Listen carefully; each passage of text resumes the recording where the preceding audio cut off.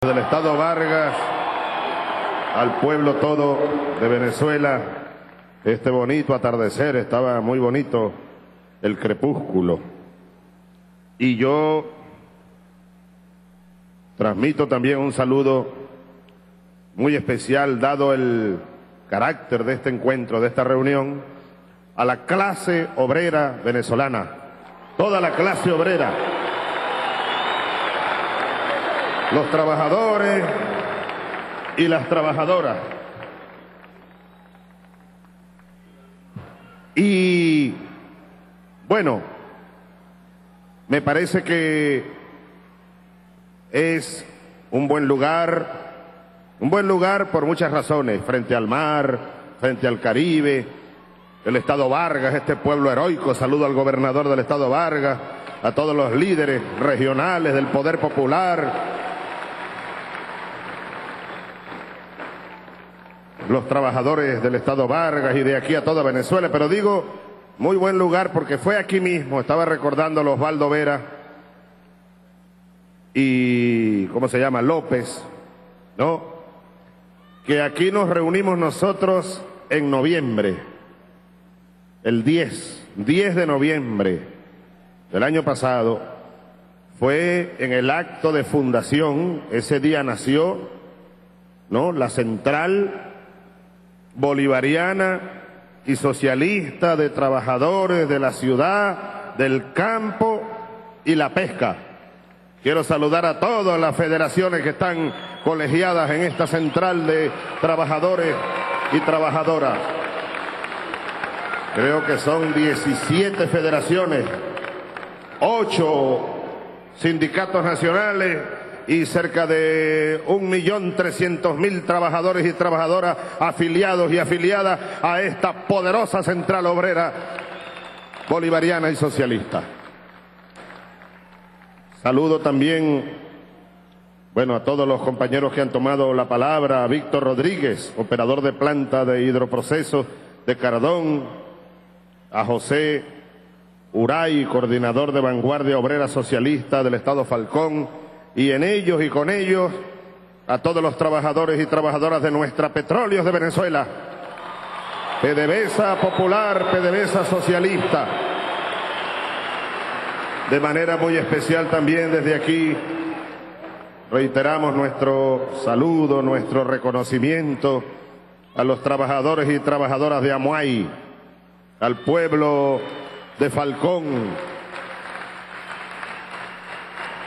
al pueblo de Punto Fijo, a todas esas comunidades tan impactadas por la tragedia de Amuay de hace unos días.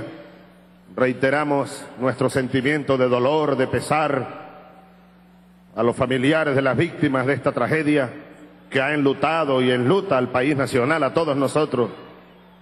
Y ratificamos nuestra disposición a continuar investigando a fondo las causas de esta tragedia y a remediar hasta donde Dios permita los daños que ella ha causado. Quiero felicitar a Rafael Ramírez, presidente de Petróleos de Venezuela, a toda la directiva de nuestra industria petrolera, a los trabajadores y trabajadoras, a los bomberos y bomberas, héroes anónimos, en la batalla contra la muerte, en la batalla contra el dolor.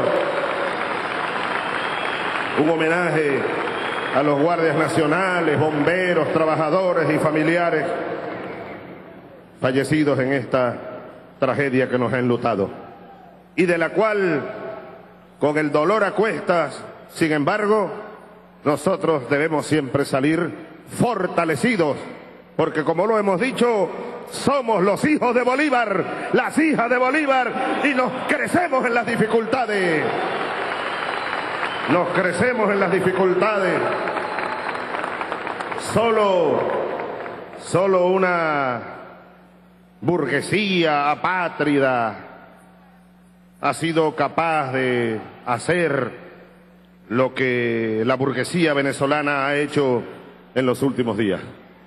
Tratar de montarse sobre una tragedia, tratar de explotar el miedo, tratar de manipular el dolor para tratar al mismo tiempo de obtener algunas ventajas politiqueras Pero, burguesía, te lo vuelvo a repetir, a ti, burguesía pátrida, y a su candidato, Majunche, hagan lo que hagan, está escrito, les daremos un knockout fulminante el 7 de octubre. Hagan lo que hagan, hagan lo que hagan, digan lo que digan, manipulen lo que manipulen. Nadie lo salvará del knockout el 7 de octubre.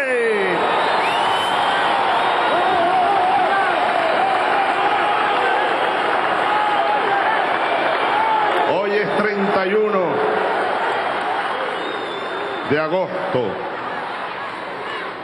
Hoy es 31 de agosto. Y bueno, mañana comienza septiembre. Por eso les decía que me parece muy oportuno el día, el último día de agosto y el lugar en este hermoso polideportivo aquí en Vargas, donde nos vimos el 10 de noviembre, cuando nació la Central Obrera Bolivariana y Socialista y cuando ustedes me pidieron que asumiera la tremenda responsabilidad de coordinar la elaboración y luego aprobar por ley habilitante la nueva ley orgánica del trabajo de los trabajadores y las trabajadoras. Me parece muy, muy apropiado el lugar y el momento para iniciar una, no una nueva etapa, no, más bien para incorporar en la campaña electoral que ya cumple mañana dos meses y apenas a un mes y algunos días de las elecciones presidenciales, incorporar un, un elemento un nuevo elemento que va a ser muy, muy positivo. Encuentros de este humilde servidor con distintos sectores de la vida nacional.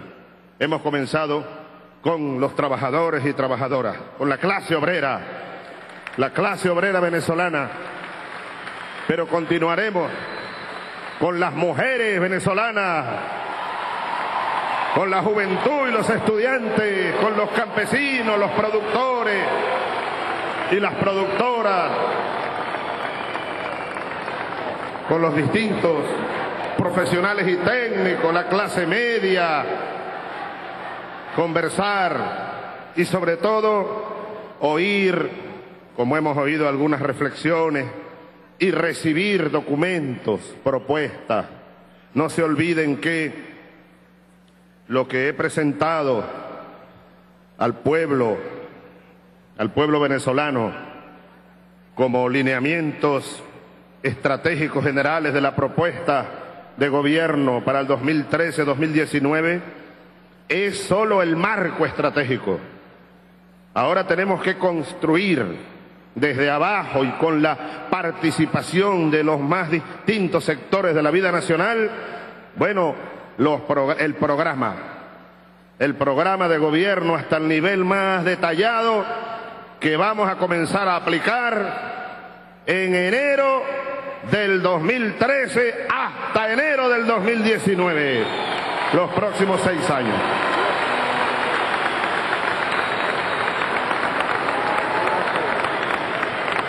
Eglé Sánchez, gracias por tus palabras, Eglé. Qué bonitas palabras las de Eglé desde el alma, desde el corazón, presidenta de la Federación Gráfica y Papelera. Osvaldo Vera, dirigente sindical, diputado y miembro del Consejo Superior del Trabajo y de la comisión que está elaborando ahora el reglamento de la ley orgánica del trabajo. En eso tenemos que seguir avanzando. Carlos López, gracias Carlos, presidente de la Federación de Trabajadores Universitarios, Está también Will Rangel, presidente de la Central Socialista. ¿eh? Trabajadores de FETRAELEC, trabajadores eléctricos, trabajadores de FENACIRTRASALUD, de SINAFUN, FETRAGRAF, FENO, Federación Nacional de Obreros Bolivarianos del Ministerio de Educación, FETRAV, Trabajadores Universitarios de Venezuela, FEUTPB, Federación Unitaria de Trabajadores Petroleros, AMUAI, trabajadores de puertos y aeropuertos de Conviasa, INAC, Bolivariana de Puertos,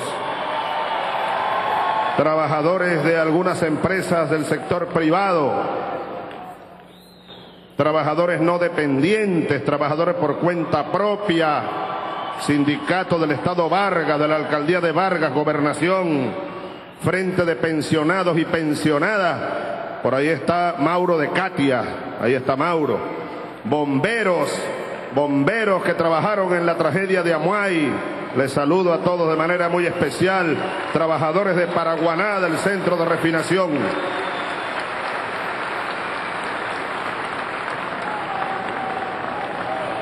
Bien, miren, yo pudiera decir muchas cosas en esta reunión de hoy. El médico me ha recomendado que no hable mucho porque tengo una gripe que me agarró ayer de Padre y Señor nuestro. Pero a pesar de la recomendación médica dije, no, yo tengo que ir a ese evento de los trabajadores y aquí estoy con ustedes oyendo, sintiendo, llevándome ideas, propuestas, ratificando un compromiso, mi compromiso con ustedes.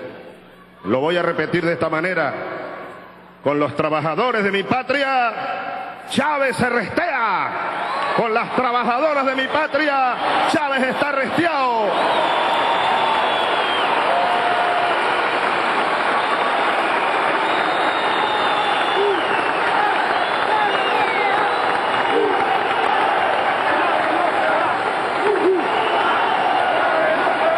Ahora, como les decía, yo pudiera abordar una serie de temas sobre todo en este ambiente, líderes obreros,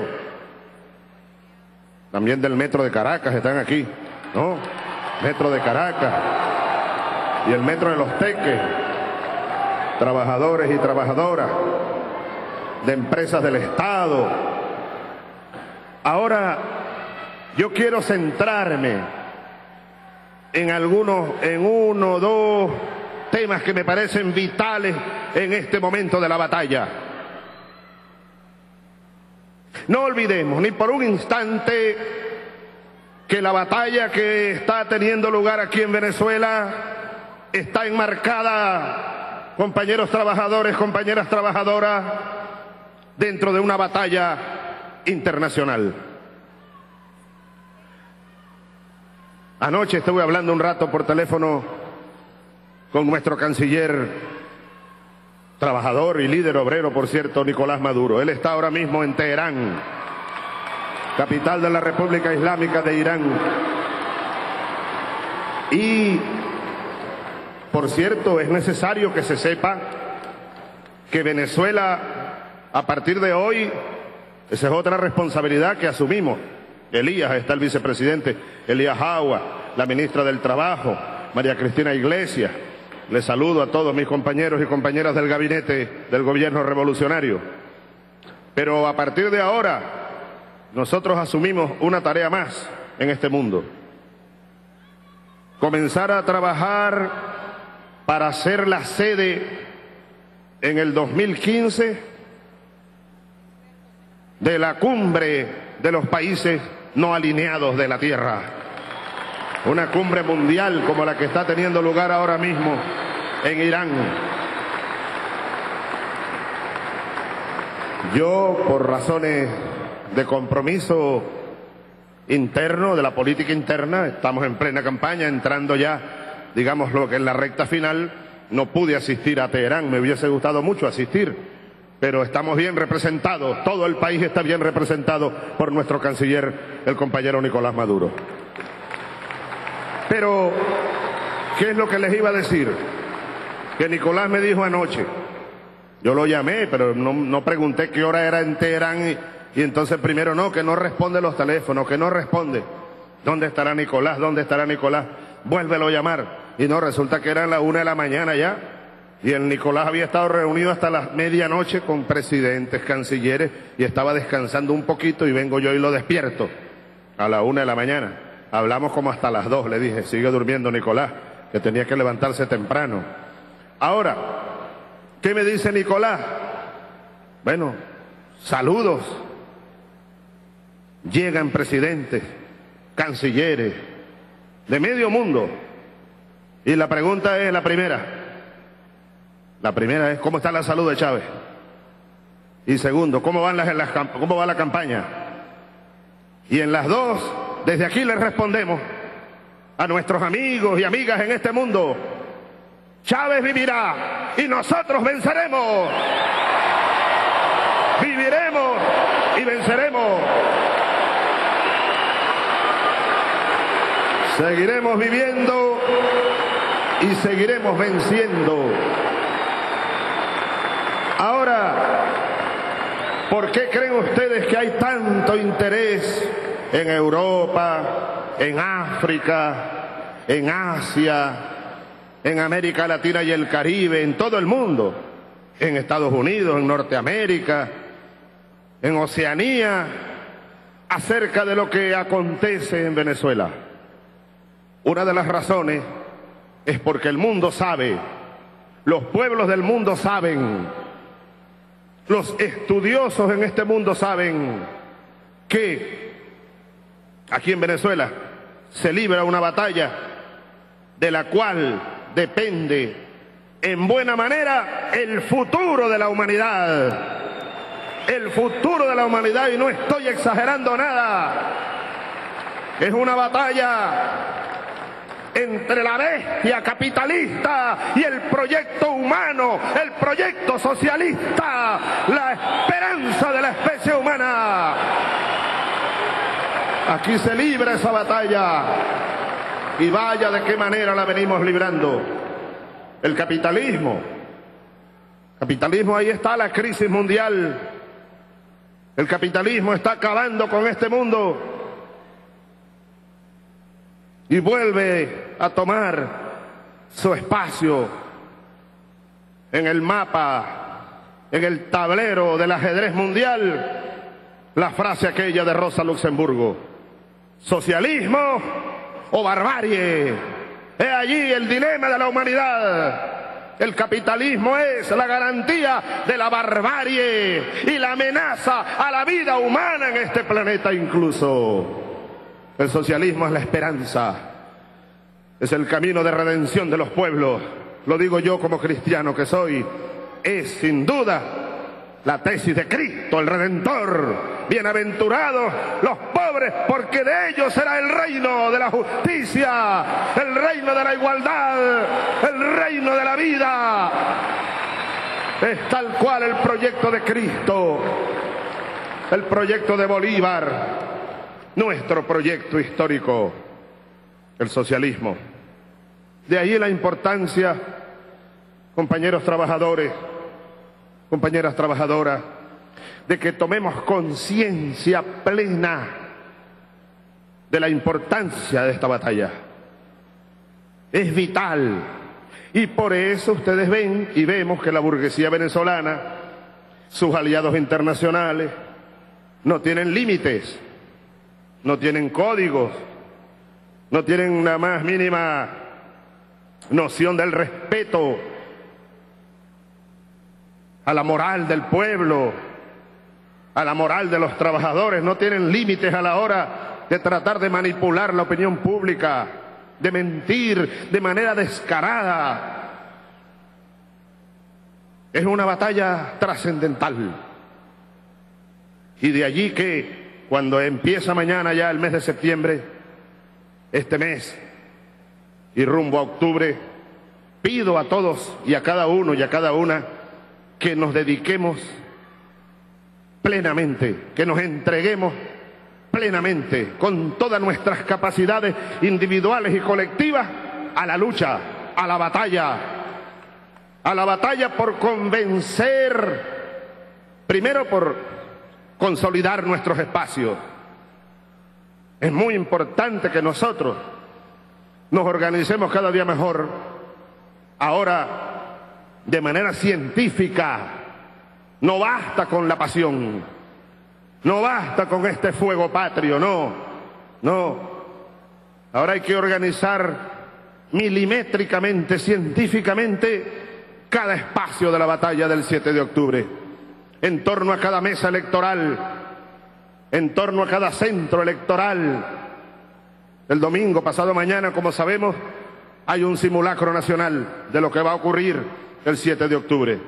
Pues todos debemos contribuir con el poder electoral, con el Consejo Nacional Electoral, a que ese simulacro sea exitoso y además aprovecharlo para aprender. Yo soy uno, esta mañana amanecí buscando la cédula, ¿Eh? porque sencillamente el que no tenga cédula laminada no puede votar. Así que esta mañana no conseguía mi cédula. Menos mal que tengo dos, tengo una de reserva. Conseguí la de reserva. Allá la tengo. La cédula, el registro, ¿eh? el uso del captahuella y todos los sistemas, ¿no? Cómo votar ahora en la pantalla. Nosotros tenemos en verdad, si no es el mejor, es uno de los mejores sistemas electorales que hay en este planeta, el sistema electoral venezolano. Saludamos de aquí a la doctora Tibisay Lucena, a todos los rectores y trabajadores y trabajadoras del Consejo Nacional Electoral y vamos a contribuir con ellos y con ella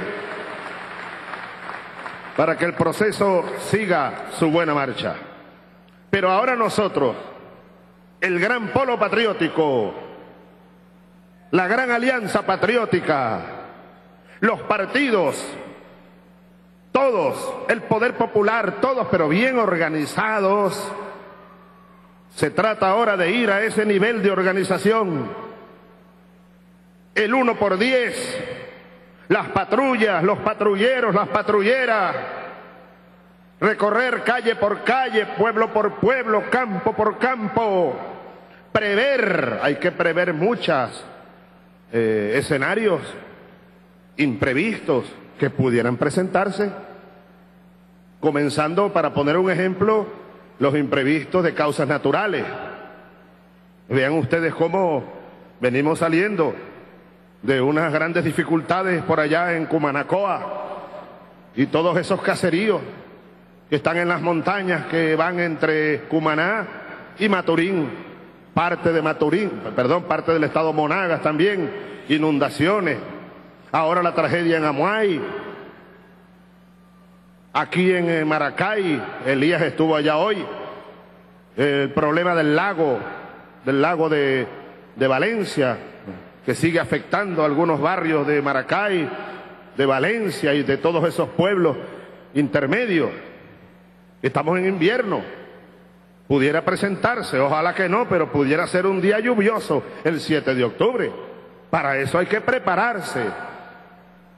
Para aun cuando sea un día lluvioso, aun cuando llueva, truene o relampaguee, majunche, nadie te salvará del knockout que te vamos a dar el 7 de octubre.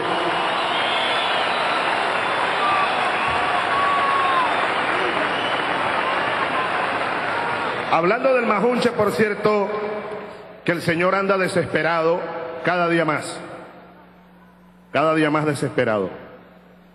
Ahora le dio por llamar jalabola a los trabajadores de la patria. ¿Ve? Ahora le dio por llamar jalabola. Ah, claro. Igual como llaman jalabola a los generales de la Fuerza Armada, porque sencillamente están comprometidos como la clase obrera con la constitución bolivariana. Y los llaman jalabola.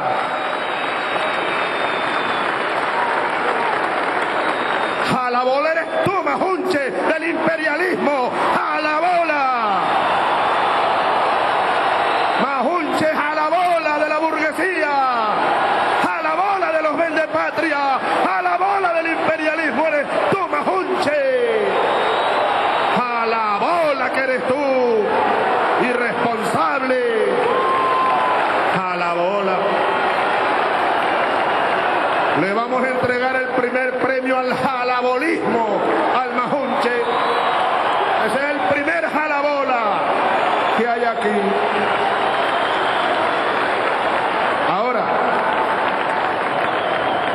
Son signos del desespero, ¿eh? el desespero.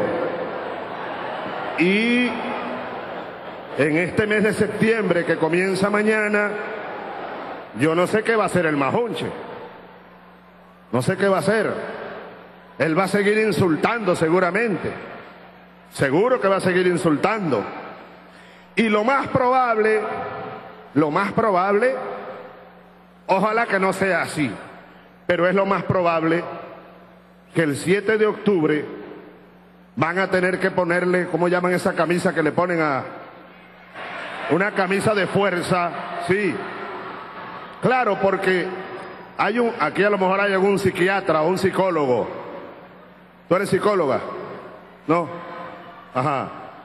El, mentiroso, el que miente, miente y miente, hay un fenómeno psicológico. Eh, termina creyendo sus propias mentiras. ¿Ve? Y entonces él anda mintiendo, mintiendo y mintiendo y él, él dice que va a ganar, pues. Nada, no hay encuesta alguna en la que él crea, a menos que le favorezca. Y bueno, él llega al cinismo tal de que dice, no, yo aquí tengo una encuesta, estoy ganando. Pero alguien le pregunta, pero bueno, muéstrenlo, no, no, aquí la tengo escondida. Es un fenómeno psicológico el caballerito este. Un fenómeno psicológico. Entonces, lo más seguro, y debemos irnos preparando para eso también, es que el 7 de octubre él salga y ellos salgan a cantar fraude. Bueno, Preparémonos. Preparémonos. Pero yo les quiero advertir a la burguesía que está detrás, porque la culpa no es, ¿cómo es que dicen? La culpa no es del mono, ¿no? Sino el que le da la hojilla. El candidato burgués es apenas un instrumento de la burguesía, ¿ve? A él lo escogieron no porque es un candidato, como alguien dijo por ahí, un candidatazo, no. Yo creo que yo creo que si alguien hiciera una, evaluación de candidatos a presidente, vamos a limitarnos a presidentes de la República en todo este continente, en Europa, en África, en Oceanía, en todas partes, yo creo que el majuncho queda, que el majunche queda de último, creo yo, o entre los últimos. Porque vaya, qué candidato, compadre, qué candidato. Ahora, ahora, pero lo escogieron por algo. Él está bien escogido, bien escogido dije, ¿no? Por, bien, no, no vaya alguien a entender otra cosa, ¿no? ¿Eh? Él está bien escogido por aquellos sectores, aquellos sectores que quieren llevarnos de nuevo por el camino de la violencia porque la burguesía venezolana sabe, el imperialismo sabe que ellos a Chávez, y cuando digo Chávez no me refiero a mí, porque Chávez ya no soy yo, Chávez son ustedes, Chávez es un pueblo. Ellos no le ganan a Chávez más nunca una elección en Venezuela. Ellos lo saben.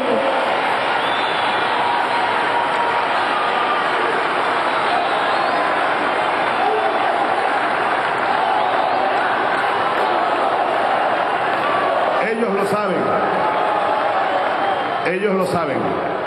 Y entonces buscaron a un candidato, bueno, de esas características, pues. ¿eh? Un candidato disociado de la realidad. Disociado de la realidad, en verdad. Y lo cargan por ahí. Lo cargan como, como un, ¿cómo se llama eso? Como un... ¿Ah? Un títere, un títere. En verdad lo cargan como un títere. ¿Ve? Una marioneta. Pero los que están detrás de él, ¿ve? Son los que tienen el plan. Ahora, la gran burguesía venezolana, los llamados históricamente amos del valle, los amos del valle, ellos se creen dueños de Venezuela. Bueno, y en verdad lo fueron Hicieron aquí lo que le dio la gana. desde hace casi 200 años. Los que están detrás del, del majunche, ¿no?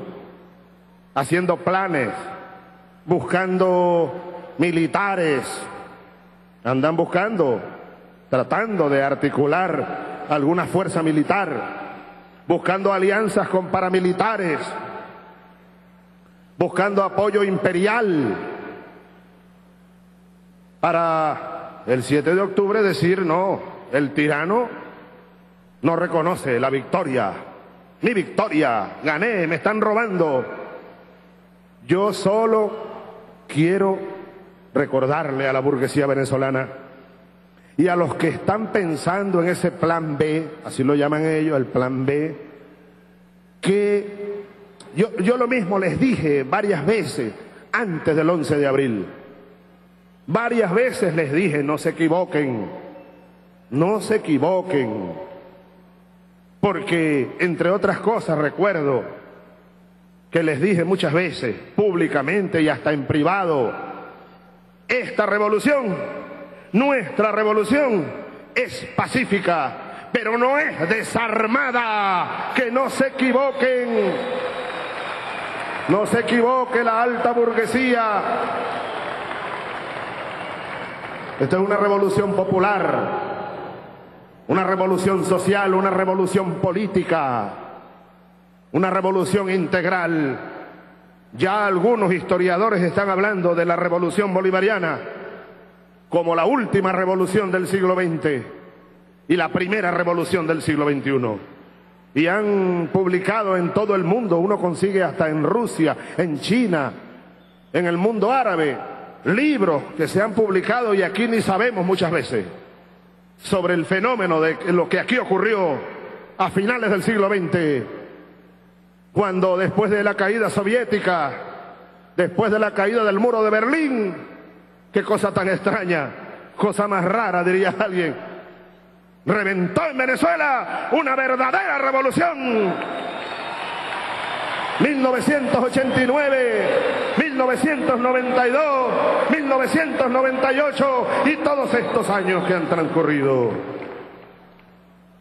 Lo último que leí por ahí que dijo el Majunche es que bueno, ¿no? Que a la revolución le vamos a quitar la R para que sea una evolución. Él ni siquiera sabe lo que está diciendo, ¿no? Es lo que le ponen a que diga. Pero el plan que tienen ellos en verdad no es quitarle una R a la revolución y entonces hablar de evolución. ¿Eh? No, en verdad, verdad, el plan de la burguesía lo sabemos, solo que el majunche con su ignorancia lo dice de esa manera. No, quitémosle la R a la revolución y convirtamos esto en una evolución. En verdad, lo que ellos quieren es matar la revolución a través de la contrarrevolución. Esa es la verdad. Ellos son la contrarrevolución. Nosotros somos la revolución. Ellos son el capitalismo. Nosotros somos el socialismo. Esa es la verdad. Y de allí, de allí, compañeros, compañeras trabajadoras, trabajadores, uno de los temas que yo creo que este mes que queda y un poquito más, un tema debemos, al que debemos dedicarle mayor atención, mayor estudio, mayor tiempo de estudio, para explicarle no solo, al, no solo a nosotros mismos, no, ir más allá, más allá de la izquierda, diría Alfredo Maneiro, más allá de los partidos, más allá del gran polo patriótico, irnos hacia la juventud, los estudiantes, hacia esos sectores medios, algunos los llaman indecisos, otros pudieran llamarlos confundidos, otros pudieran decir atemorizados, otros descontentos, etcétera, etcétera. Pero tenemos que ir hacia allá con mayor intensidad en las urbanizaciones, en los barrios, en los centros de trabajo, en todas partes, por radio, a través de los medios de comunicación, por las llamadas redes sociales, por internet, por todas partes, volantes, periódicos, explicaciones, esquinas, las esquinas de la patria, en las escuelas, en los módulos, en todas partes. Fíjense, se trata de desnudar plenamente el programa contrarrevolucionario. Porque, bueno, hace poco estaba yo viendo a algún dirigente de la oposición en un canal privado de televisión dando una entrevista. Y creo que los más sorprendidos eran los dos entrevistadores de ese canal por la mañana. Porque este dirigente opositor salió a denunciar algo. Yo apenas vi una parte, creo que estábamos por Oriente todavía. Y luego vino la tragedia de Amuay. Y eso como que apagó un poco la denuncia. Pero resulta que lo cierto es que hasta de algunos sectores opositores han comenzado a darse cuenta de lo que aquí podría pasar si ganara la burguesía y ellos intentaran aplicar el paquetazo neoliberal que cargan escondido detrás del majunche. Miren, aquí hay un buen libro que yo recomiendo. El programa de la MUT. ¿Ustedes lo han visto? Hay que estudiarlo. Y esto hay que además, hay que extraer de aquí, Mauro, elementos centrales, lo que uno pudiera llamar balas de plata. ¿Mm? Romain Migus, con un prólogo de Federico Ruiz Tirado. Aquí está, por ejemplo, aquí está eh, eh, analizado, evaluado el programa de la MUD que ellos presentaron, pues. Es el programa del Majunche. Y aquí, por ejemplo, señala, fíjense, para, solo para comentar algo. Tres puntos, dice el autor. Tres puntos que desataron una verdadera propaganda de guerra podríamos resumir en tres puntos. Primero, negar el pasado. Venezuela es un planeta espacial sin historia. Segundo, negar de manera sistemática todos los avances del gobierno. Según ellos, Venezuela es el infierno, un infierno sin nombre. ¿Eh? Tercero, negar los intereses antagónicos. Venezuela es un país sin clases sociales. Eso es lo que ellos dicen. Es una falsificación de la realidad. Pero han puesto en marcha una poderosa propaganda de guerra con esos tres puntos centrales, según el autor, y otros más que aquí están señalados. Por ejemplo, hablan de la tríada. Aquí se analiza la tríada. ¿Cuál es la tríada? Vamos a ver. Primero, autonomía. Segundo, descentralización. Tercero, privatización. Esos son elementos centrales del más crudo paquete neoliberal que se conozca, que causó el desastre aquí en Venezuela a lo largo de los años 70, los 80, los 90. Por eso es que, lo hemos dicho, el, el programa de la burguesía o el programa del candidato burgués no ofrece nada nuevo. Ellos dicen que son lo nuevo, que ya Chávez está viejo, que está cansado, que ya no puede más, que ya se desgastó. Bueno, es lo mismito que decían hace seis años. Ustedes se ponen, por ahí, yo saqué un resumen de declaraciones del candidato burgués anterior, el filósofo que resultó ser mejor candidato que el actual, ¿ves? Mucho mejor candidato. es que es difícil, creo yo, conseguir un candidato peor que el candidato Majunche. Yo creo que es bien difícil. Pero bueno, el candidato burgués anterior, el filósofo, decía casi lo mismo hace seis años. Y el discurso que lanzaban por ahí, yo tengo una carpeta, no sé si la trajeron, de un resumen que alguien sacó. Hablaban de lo mismito, ¿no? Que Chávez anda en una carroza.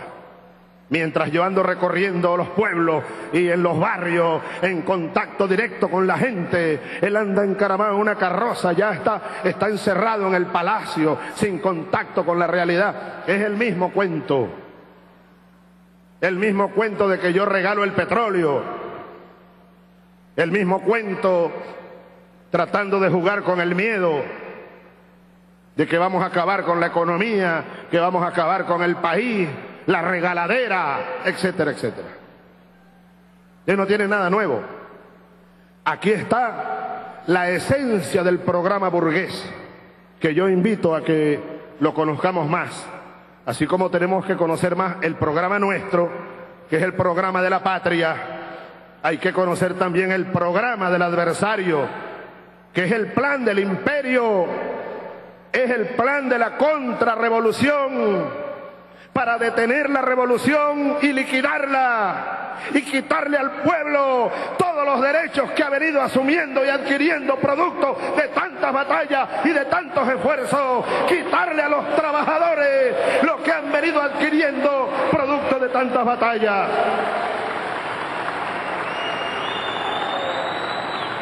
Es impresionante. Es impresionante.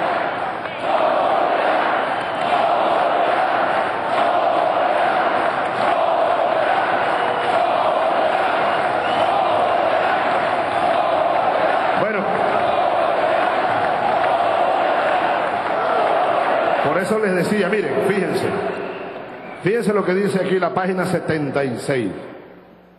Bueno, y esto tiene mucho que ver con los trabajadores de manera directa y las trabajadoras. Dice lo siguiente, permítanme leer aquí una parte. Apegado a esta visión de Estado-empresa, porque la derecha, la burguesía siempre ha tratado de bueno, siempre ha visto y ha tratado de manejar el Estado como una empresa, como una empresa capitalista además. Esa es la visión del capitalismo neoliberal. La MUD, sabemos que es, este es el programa de la llamada Mesa de Unidad Democrática. Se queja del alto número de funcionarios que actualmente tiene la nómina de la administración pública. Oído al tambor. Leo, lo que voy a leer ahora es extraído del programa de la MUD. Comillas, este crecimiento en el número de ministerios ha estado acompañado de un crecimiento en el número de funcionarios públicos. Dicen ellos, ¿no? Para el año 2011, el crecimiento había sido de 127,6% en comparación con el año 2000, al alcanzar la cifra de 1.422.534 funcionarios de la Administración Central.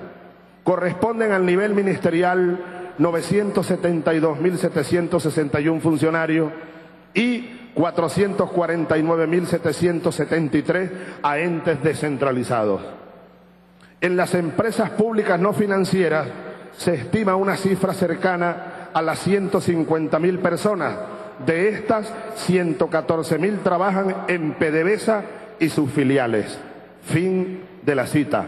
Estos son los, eh, el artículo 154 y 155 del programa de la MUT. Entonces, según ellos, eso es demasiada gente. ¿Qué hay detrás de este planteamiento? Bueno, la vieja tesis del Estado mínimo, la vieja tesis capitalista, neoliberal, de que el Estado hay que achicarlo, dicen ellos, para que sea rentable, para bajar el gasto público, porque ellos dicen que ese es un gasto, que no se justifica tener tantos ministerios. Ayer, por cierto, estaba de aniversario, creo que noveno aniversario, el Ministerio de Ciencia y Tecnología. ¿Eh? Aquí nunca hubo Ministerio de Ciencia y Tecnología. La ciencia así llamada era reservada a una élite, por ejemplo, solo para saludar desde aquí a todos los trabajadores y trabajadoras del Ministerio del Poder Popular para la Ciencia y la Tecnología.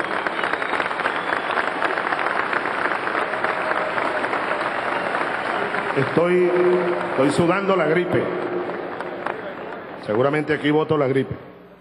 Eh, después tienen que descontaminar estos, estos micrófonos. Fíjense ustedes. Ahora, eh, el libro es muy bueno. Este libro es muy bueno porque usa mucho la matemática de manera seria, responsable. Dice el autor que, según estas cifras, el número de funcionarios públicos y funcionarias, agrego yo, es de un millón novecientos diecinueve mil 160. Y esto incluye no solo los trabajadores del gobierno central, de las instituciones tradicionales, no. PDVSA ya está señalado aquí. Empresas como CanTV, que sigue creciendo y expandiéndose. Son trabajadores del sector público. Antes estaban privatizados y tercerizados la mayoría los trabajadores de las empresas de Guayana, empezando por Sidor, que estaba privatizada, tercerizado más de la mitad de los trabajadores, ahora todos son trabajadores del sector público, hasta los trabajadores de empresas como Diana, trabajadores de la propiedad pública. Y es allí uno de los papeles más importantes que la clase obrera tiene que seguir ahora jugando, sobre todo en el próximo periodo de gobierno como decía Carlos López, para acelerar y profundizar la transición al socialismo, transición al socialismo. Es vital. Yo en verdad aspiro que nosotros en los próximos seis años, así lo he dicho, y está escrito acá en el programa de gobierno, nosotros traspasemos la barrera del no retorno de nuestra revolución. Para eso habrá que trabajar muy duro en todos los órdenes, en todos los órdenes, en lo económico, en lo social, en lo político, en lo cultural y en todos esos ámbitos u órdenes. La clase obrera, camaradas, compañeros, compañeras, tiene que seguir jugando un papel fundamental. Carlos, yo te diría, así como ustedes me piden, y yo lo asumo, lo asumo profundicemos y aceleremos los cambios revolucionarios. Soy el primero en levantar la mano y decir, de acuerdo, pero también de aquí para allá les pido, les exijo, y tengo moral para hacerlo, que la clase obrera profundice y acelere su papel en la transición al socialismo. La clase obrera socialista revolucionaria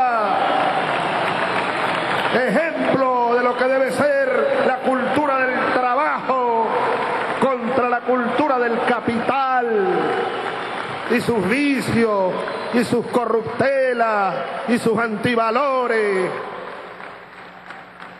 Muchas, muchas, muchas, de, muchas cosas depende el éxito de nuestra revolución y una de ellas, de las más importantes, el papel de la clase obrera. Yo saludo, por ejemplo, la incorporación que ahora se está produciendo de mayor, de manera más firme, de miles y miles de compatriotas del, del, llamado sector informal de la economía. Y aquí hay algunos de ellos y algunas de ellas. Ahí están. Ahora, ustedes deben recordar allá arriba la Feria Económica Popular de Bellas Artes. Fíjense.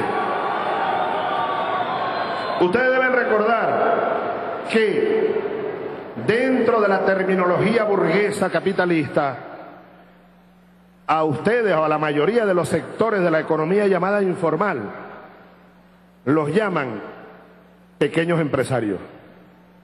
Ajá, eso es parte de una estrategia. En verdad ustedes no son pequeños empresarios, ustedes son trabajadoras y trabajadores de la patria. El que tenga, el que sea buhonero, taxista, que maneje un jeep, que maneje una mototaxi. ¿Ustedes son de mototaxi? ¿Ah? ¿De qué son ustedes? ¿Qué sector? Peluquería, sí, peluquería. Peluquería, ¿ve? Las peluqueras, los peluqueros, los mototaxistas, los taxistas, los abogados que trabajan por cuenta propia, son trabajadores, son trabajadoras. Los pescadores, los taxistas, trabajadores de la playa, del turismo, son trabajadores. Ahora, en la medida en que ustedes se vayan incorporando, incorporando, eh, digamos, a, a esta dinámica, irán tomando más conciencia de clase. Ustedes no son patronos o empleadores, ustedes son trabajadores y son trabajadoras, servidores públicos, servidoras del pueblo. Los trabajadores de la economía informal, que son millones, son millones, son, son parte esencial de la clase obrera venezolana. Son la clase obrera, parte de la clase obrera.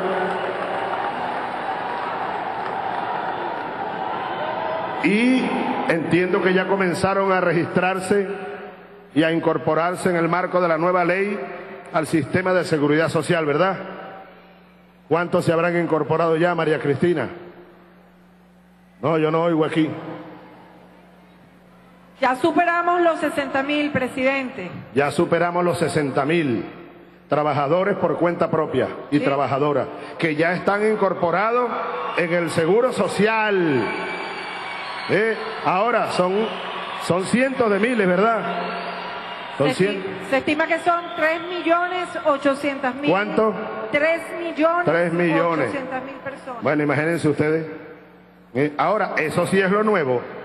Una ley orgánica del trabajo, trabajadores y trabajadoras, incluyente, que no excluye a nadie, que no excluye a nadie, que incrementa y seguirá incrementando los beneficios a los trabajadores y trabajadoras, que ahora con las grandes misiones incorpora a la seguridad social a aquellos venezolanos y venezolanas de tercera edad que no pudieron nunca cotizar en el seguro social. Pues a mí eso no me importa. A mí lo que me importa es que son seres humanos y están pasando por dificultades y hay que ayudarlos y hay que incorporarlos a la vida digna, a la justicia. Justicia, de eso se trata.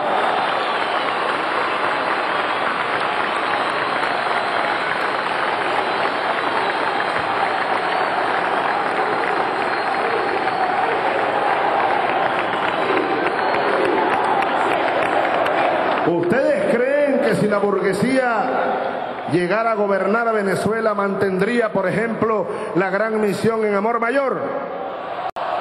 La gran misión Vivienda Venezuela. Ahora, ellos lo dicen aquí. Lo dicen, solo que lo tienen escondido. Una de nuestras tareas, una de las tareas más grandes que tenemos nosotros en los próximos 30 días, treinta y piquito de días, es terminar de desenmascarar el plan contrarrevolucionario. Ese que el Majunche dice que le va a quitar la R, ¿no? Para acabar con la revolución. Él tiene razón. ¿Eh? Es como cuando a Bolívar lo querían matar y andaba circulando por Bogotá en esos días de 1828 un volante que decía en forma de verso, no recuerdo el verso, pero era terrible, estaba llamando a matar a Bolívar.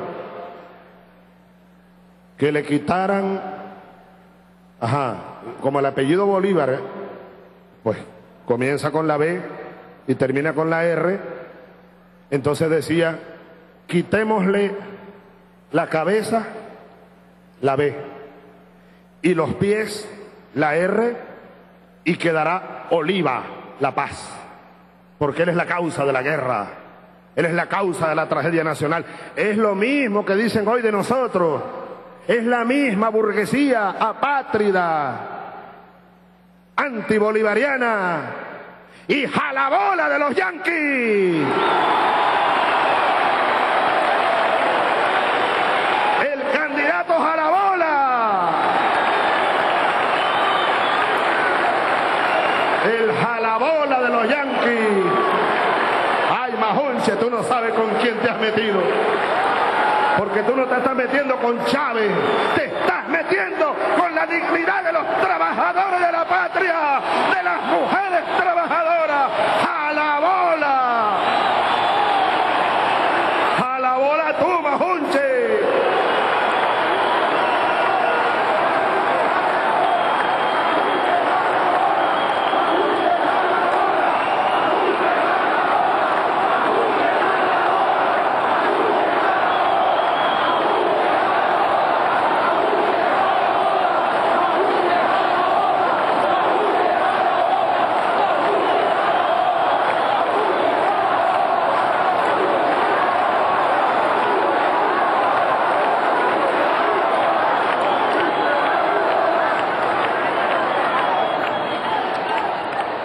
A la bola.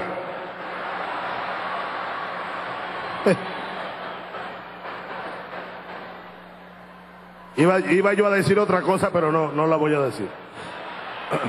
No.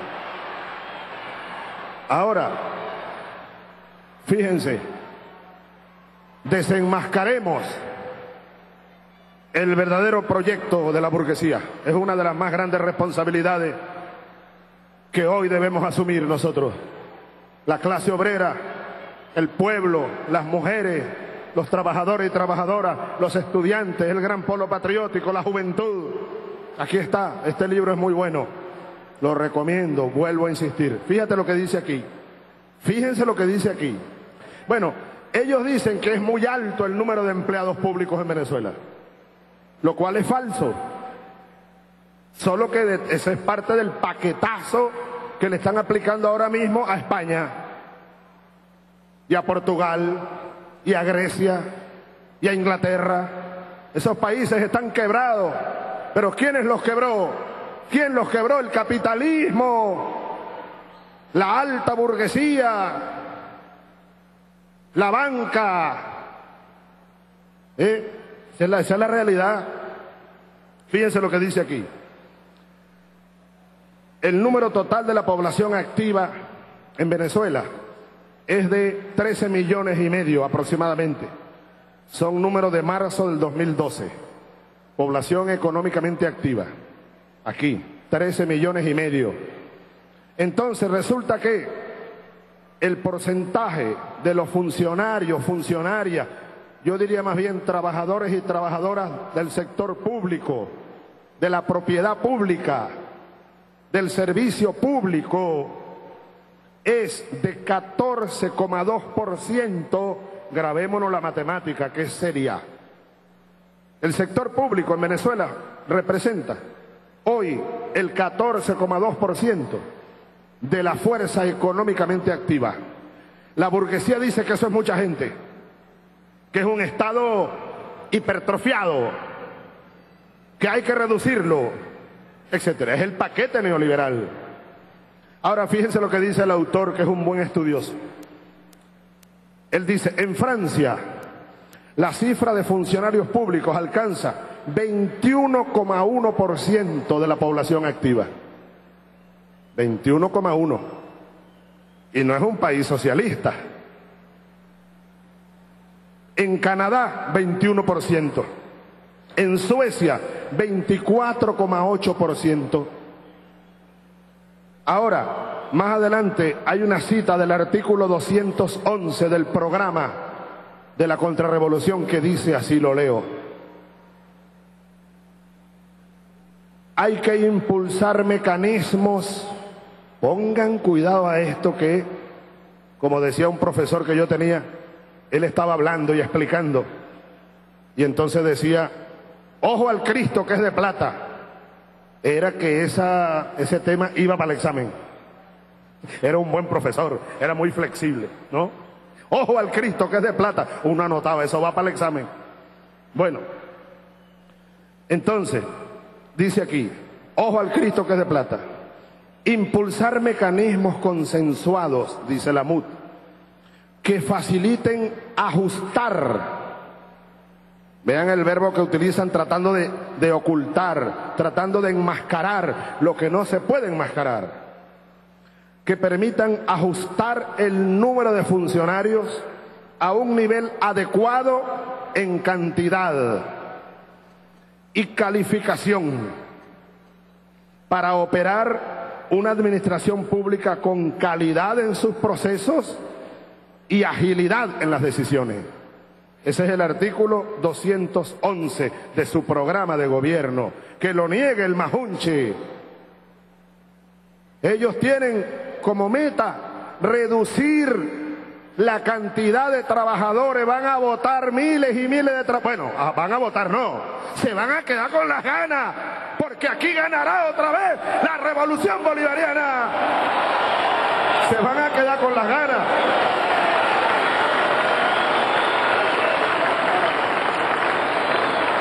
Pero esto hay que leerlo y explicarlo. Miren, miren, todos los días en la mañana, para la radio, váyanse para la radio desde las 5 de la mañana, con el librito este y otros más, y materiales. Porque no basta solo lo que llaman algunos, o llamamos, el discurso de las barricadas ese que enciende la pasión. Eso hace falta, claro, ¿no? Pero además de el discurso y las ideas incendiarias de, de, de ese fuego sagrado que nos mueve, hay que profundizar en los argumentos para convencer a la mayoría de cuál es el rumbo que necesitamos todos en Venezuela, incluyendo a la clase media, incluyendo a los sectores medios y hasta los ricos, hasta los ricos que no se quieren ir de Venezuela, y esta es su patria también, por supuesto. Les interesa que gane Chávez, porque nosotros somos garantía de estabilidad nacional, nosotros somos garantía de paz, somos garantía de desarrollo integral del país. Ellos son el majunche y todos quienes le rodean, porque es otra cosa. Ellos tratan de presentarse como lo nuevo y resulta que detrás del majunche está nada más ni nada menos que Acción Democrática. ¿O no es el candidato Adeco el majunche? ¿O no es el candidato Copellano? ¿Quién es el candidato de Fede Cámara? ¿Quién es el candidato de los banqueros prófugos? ¿Quién es el candidato Adeco? ¿Quién es el candidato Copellano? ¿Quién es el candidato de los golpistas del 11 de abril? ¿Quién es el candidato del imperio yanqui? Ay, va a decir que él es lo nuevo. Ah, ah, ah, ah, ah. Eh, no te queda nada, nada, pero nada, no, no te luce nada de eso, chico. ¿Quién es el candidato de la patria? ¿Quién es el candidato de la clase obrera? El candidato del futuro. Y Chávez no soy yo, Chávez somos todos y todas, camaradas, hermanas y hermanos.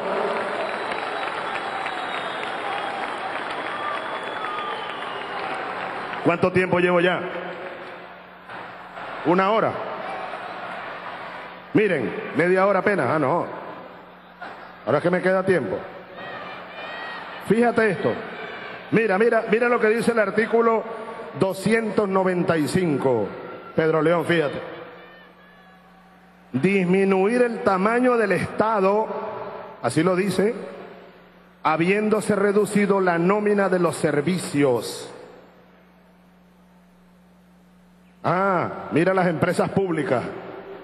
Mira lo que dice de las empresas públicas. Estarán sometidas al mismo espectro que el aparato estatal. Dice así el programa de la MUD. Leo, comillas, una vez analizado el complejo de empresas y tomando muy en cuenta las características de los mercados, los mercados en los que ellas participen, se fijarán los lineamientos de política acerca del futuro de cada empresa en particular. Ahí lo que viene es privatización. Eso es, y lo dicen por todos lados a lo largo del programa. Se tomarán, se fijarán los lineamientos de política acerca del futuro de cada empresa en particular, habida cuenta de sus capacidades competitivas, presentes y futuras. Eso lo dice el artículo 260. Que salga el majunche a negarlo, pues. Por eso es que él anda corriendo por ahí de pueblo en pueblo y dice que ha recorrido 500 pueblos. Pero no se para a decir nada. Y cuando se para, mete la pata. Bueno, no es que mete la pata. Es que por más que le digan, por más, porque yo creo que ellos tienen unos brujos que le andan haciendo así tratando de que hable bien, de que diga algo interesante. Pero cuando él se detiene a hablar, dice lo que siente, pues. Por más que trate de enmascararse. ¿Ve? Porque lo que él dijo allá, en, creo que fue en Guayana, en un show, porque ellos montan un show, ¿eh? Ellos llegan y montan un show como, como una telenovela, pues.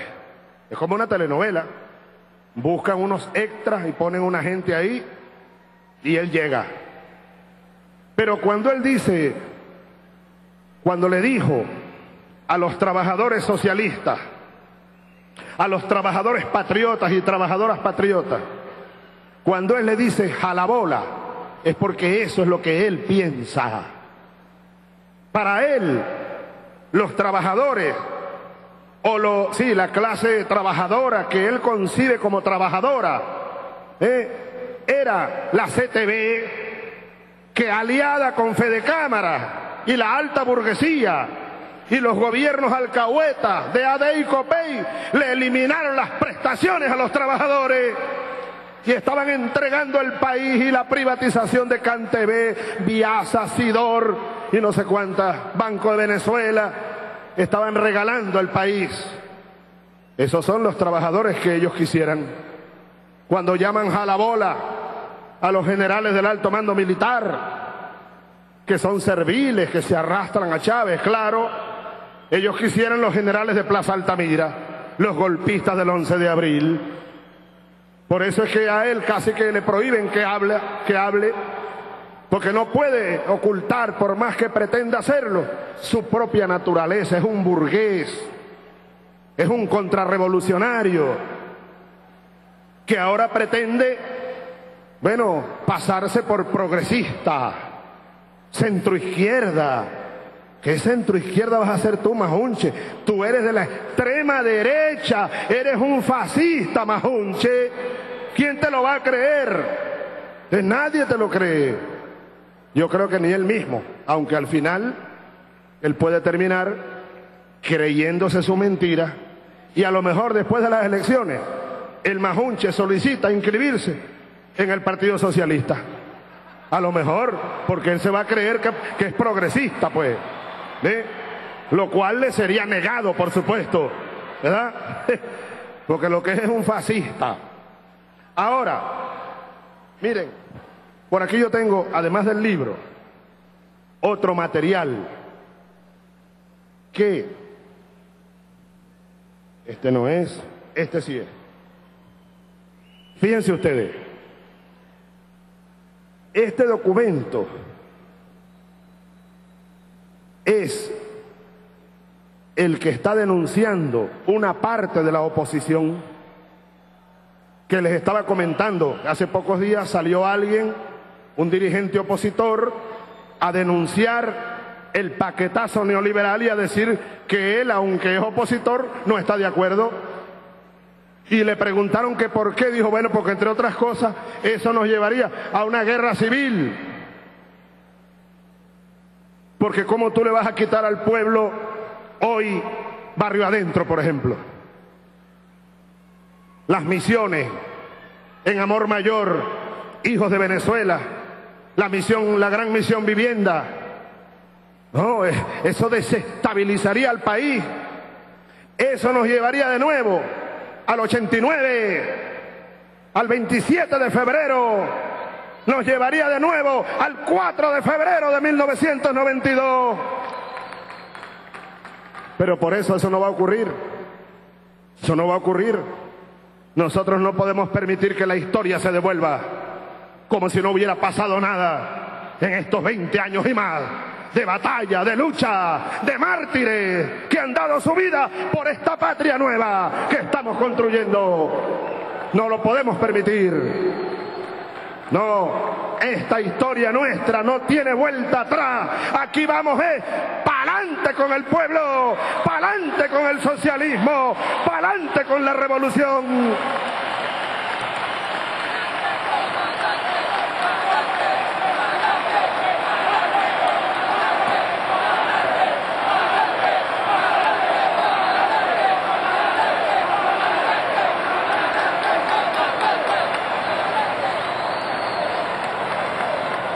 Ahora, según me informó Elías, que está aquí, esta denuncia que está surgiendo de filas opositoras hasta ahora no ha sido desmentida, ni por el comando opositor, ni por el candidato a la bola. ¿Ve? Es un documento que comienza diciendo así, se llama Primeras Ideas de acciones económicas a tomar por lo que ellos llaman el gobierno de la unidad nacional, entre paréntesis 2013. Este documento me ha llegado. Si fuera falso, ellos tendrían que desmentirlo. Pero esto está surgiendo de sus propias filas. Y hay gente de la oposición que lo está denunciando. ¿Por qué? Porque dicen que sería, sería volver atrás, pues. Sería irnos a un desastre, a una tragedia. Así lo han dicho algunos. Fíjense lo que dice aquí. Ellos hacen todo un análisis economicista de la situación nacional y la ponen de lo peor, ¿no? Ante las perspectivas sombrías, dice aquí, que se ciernen sobre la economía venezolana para el próximo año y tomando en cuenta los graves desequilibrios macroeconómicos que el actual gobierno dejará como herencia, el equipo de análisis económico de la Mesa de la Unidad Democrática, MUD, según lo solicitado por el candidato presidencial en la última encerrona, dice aquí encerrona, recomienda una serie de medidas concretas a implementar en el corto plazo por el próximo gobierno. Se suponen ellos que de ellos, ¿no? Y así ir corrigiendo estos desequilibrios para lograr en el mediano plazo una economía con crecimiento sostenido, generando bienestar y progreso para todos los venezolanos. Esto se parece muchísimo a la exposición de motivos o algo así, la introducción del llamado octavo plan de la nación, que a mí me correspondió estudiar un poco cuando hacía una maestría de ciencias políticas. El octavo plan de la nación de Carlos Andrés Pérez, el llamado gran viraje, el paquete neoliberal, pues. Fíjense.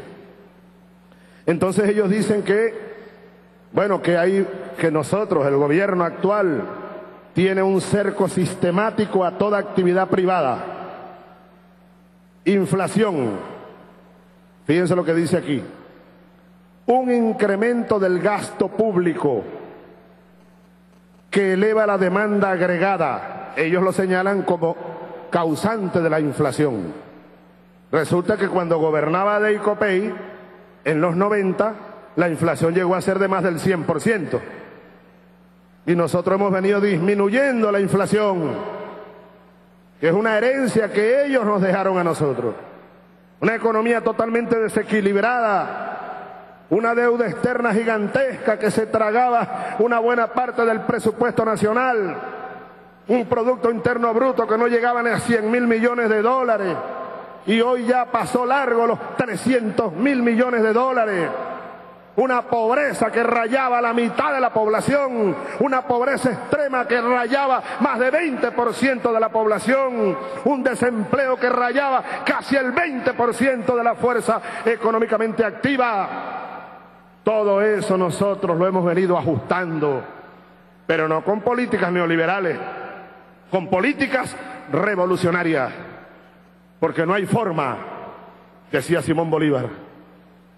Las gangrenas políticas, decía Bolívar, no se curan con paliativos. Uno pudiera parafrasear al padre Bolívar y decir lo mismo en lo económico. Una gangrena económica no se va a curar con paliativos. Y para decirlo también con Bolívar, el único camino que nos garantiza el triunfo a nosotros se llama la revolución. La revolución, no hay otro camino para Venezuela. Ese es. Hola niño. Que Dios te cuide. Niñito lindo. Franela verde. Dios bendiga a los niños y a las niñas de la patria. Para ellos es la patria que estamos salvando. La patria que estamos construyendo es para ellas y para ellos.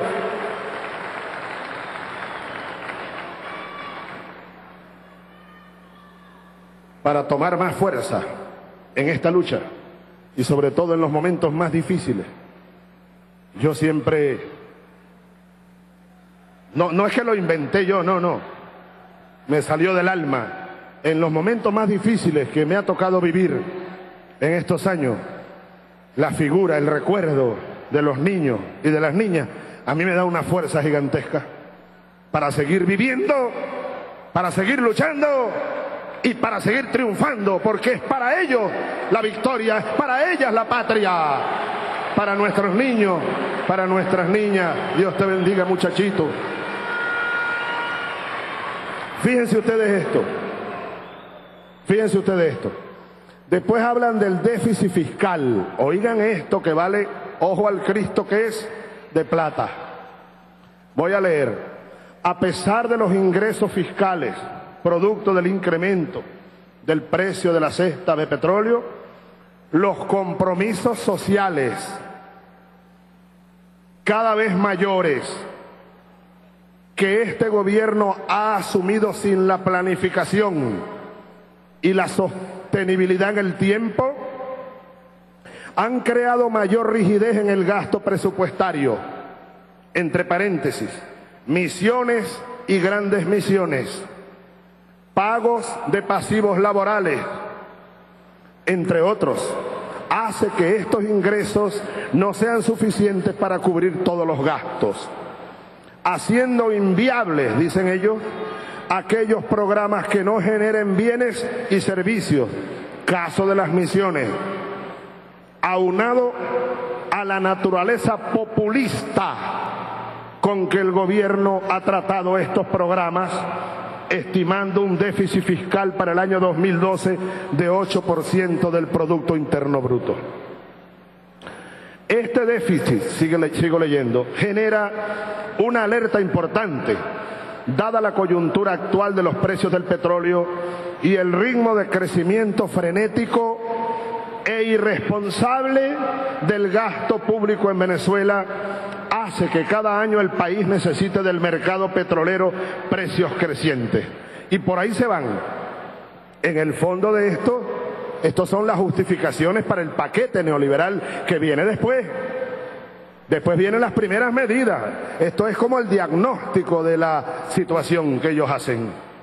Después hablan del sistema financiero y dicen que hay una excesiva, leo, regulación de las tasas de interés por parte del Estado, por lo que no podrían cubrir tanto los gastos financieros de los bancos como sus gastos de transformación.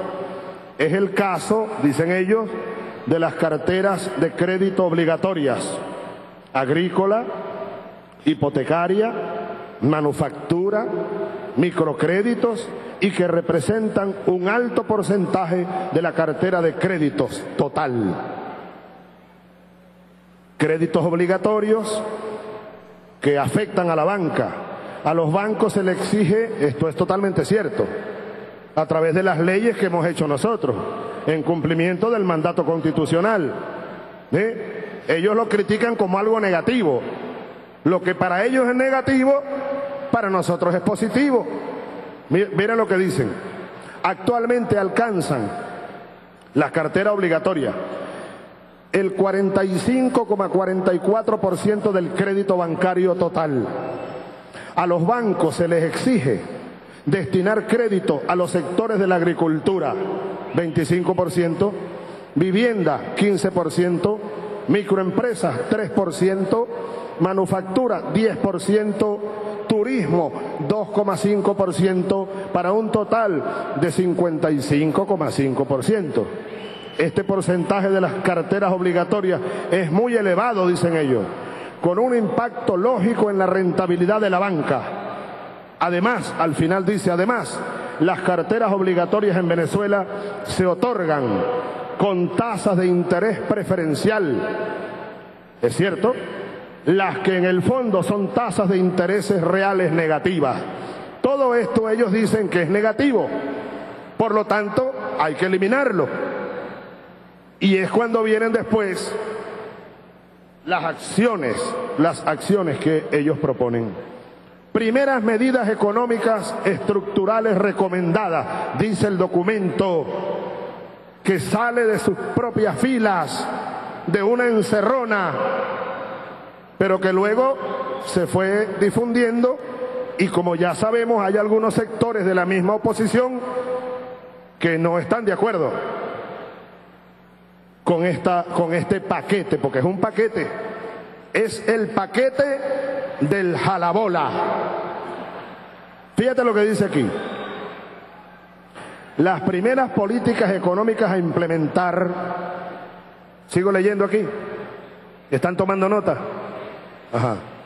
Las primeras políticas económicas a implementar tienen como propósito reducir hasta un 3 o un 4% del PIB el déficit fiscal proyectado para 2013, de acuerdo a los escenarios de ingresos petroleros, recaudación tributaria y gastos, y dar pasos concretos para disminuir en el mediano y largo plazo la carga de bienes y servicios que ha asumido el actual gobierno. Para ello se requiere lo siguiente. Fíjate esto, García Caneiro. Mira, prepárate. Primero, transferencia a los estados, conjuntamente con alianzas de empresas privadas de bienes y servicios de servicios públicos y actividades económicas que las hagan más eficientes y menos onerosas para el nuevo gobierno. Esto permitirá focalizar y reducir el gasto. Esta estrategia estaría enmarcada dentro del desafío de lo que podemos definir como la descentralización económica. Más adelante dice, bueno, e-, es lo que ellos hicieron ya, por eso esto no es nada nuevo. Esto lo hicieron en los 90. Ustedes recuerdan que aquí hubo la llamada COPRE, Comisión Presidencial para la Reforma del Estado. Ustedes lo recuerdan. Hasta creo que le dieron rango de ministerio. Ahí están los libros y las propuestas. Estoy seguro que muchos de estos la sacaron de allí. O los que hicieron esto son casi que los mismos que trabajaron el paquete de Carlos Andrés Pérez, asesores, supuestos expertos, Chicago Boys, y esa Boys, etcétera, etcétera, que ya produjeron aquí un desastre. Y yo recuerdo, mira, yo recuerdo que esa gente no tiene límites en el cinismo. Después del Caracazo, que fue en el 89, como recordamos, Después vino el 4 de febrero, 92. Y después fracasó el plan, como tenía que fracasar el gran viraje, que es casi que esto mismo. Yo recuerdo que algunos de aquellos voceros expertos Chicago Boys y esa Boys, etcétera, salieron a decir que el plan fracasó porque no lo aplicaron con el rigor que se requería. Ahora, ese plan funcionó, entre comillas, en el Chile de Pinochet, pero funcionó, entre comillas, solo gracias a la feroz dictadura que le impusieron al pueblo chileno y a los trabajadores chilenos, a la persecución, a los asesinatos, a las desapariciones. Esa sería la única forma en que la derecha venezolana pudiera aplicar un plan como este. Y la Venezuela de hoy no se cala un paquetazo más. No, están muy equivocados los burgueses venezolanos y sus teóricos, sus llamados expertos. Pero por eso es que, compañeros, dame otra cosa caliente para la garganta ahí que me está picando. Me agarró una gripe tremenda. Fíjense, fíjense una cosa, compañeros, compañeras. Yo por eso les ruego, les encomiendo. Miren, desde las radios comunitarias, que a lo mejor hay aquí en Vargas varias, ¿verdad? Y tienen alcance a lo mejor para un barrio, para una ciudad, para un pueblo,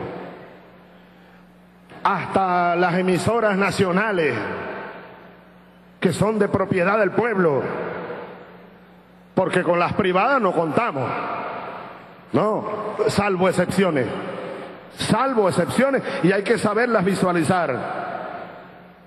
Porque hay sectores privados que son patriotas. Y a esos sectores privados hay que llamarlos a la conciencia. Que se comprometan cada vez más con la patria que los vio nacer. Con la patria de sus padres, con la patria de sus hijos, no con el imperialismo. Ahora, les decía, vayámonos desde las 5 de la mañana. Ustedes se van rotando, como cuando uno estaba en el ejército. ¿Verdad, Jorge?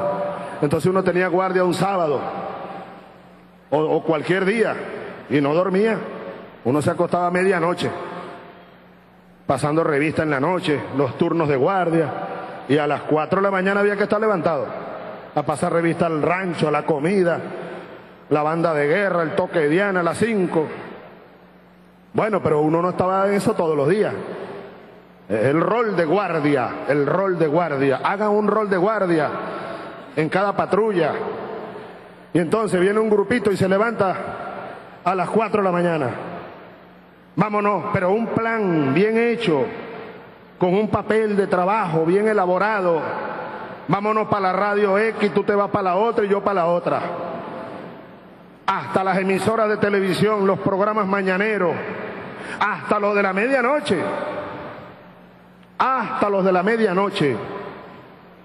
Yo le recomendaría, por ejemplo, a programas que yo sé que son bien vistos, yo los veo bastante cuando tengo tiempo. Por ejemplo, Pérez Pirela, ya en la tarde, ¿verdad? Antes de Pérez Pirela viene Lucía Córdoba, Pérez Pirela, después viene Vanessa, después viene Walter, bueno, Walter se dedica más a lo internacional. Después viene la hojilla. Yo les recomendaría desenmascarar el plan burgués. Y además difundir más el plan nuestro. Son dos tareas simultáneas. Mientras ellos proponen reducir el Estado, privatizar la República nosotros proponemos seguir fortaleciendo el Estado, como dice la Constitución, el Estado social de derecho y de justicia. Por ejemplo, contrastar las propuestas. Mientras ellos proponen reducir el gasto público, nosotros no. Nosotros seguiremos incrementando la inversión pública y el tamaño de la propiedad social, que es un elemento central para que pueda haber socialismo, es fundamental. Miren, por ahí tengo yo un libro, aquí está. Este es un libro, uno, solamente de las plantas y fábricas que estamos construyendo actualmente, que están por inaugurarse algunas de ellas. Todo esto es propiedad pública. Y los que ahí trabajan ya son servidores públicos. Es decir, propiedad estatal pública social. Y no se trata del capitalismo de Estado, no. Socialismo, propiedad patria. Es lo contrario de lo que ellos proponen. Ellos dicen clarito aquí que van a evaluar cada empresa y en función del mercado, en función del mercado y de la competitividad, una categoría muy del capitalismo, entonces tomarán las decisiones más pertinentes para disminuir el tamaño del Estado. Eso es privatización. Nosotros no.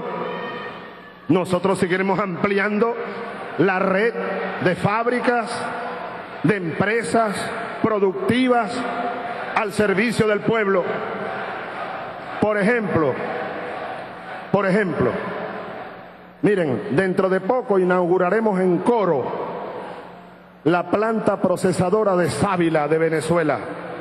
Esa es una empresa nueva que se llama Sabilven. Una empresa de propiedad social. Miren, Aquí tengo yo hasta las fichas. Sabilben. Vean ustedes, no sé si la ustedes tienen pantalla ahí. Ajá. Vean ustedes la cámara, por favor, compadre. Aquí.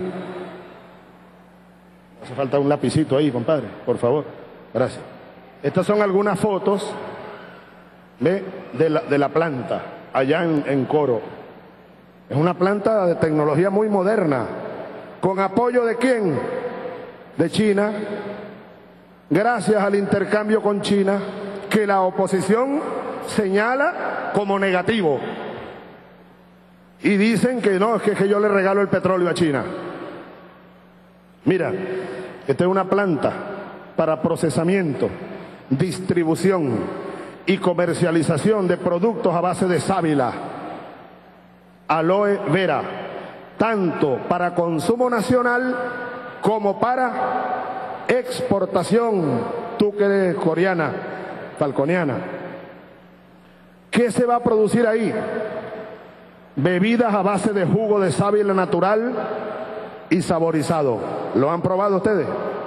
Eso es mucho mejor que la Coca-Cola y que todas esas bebidas. Mucho mejor.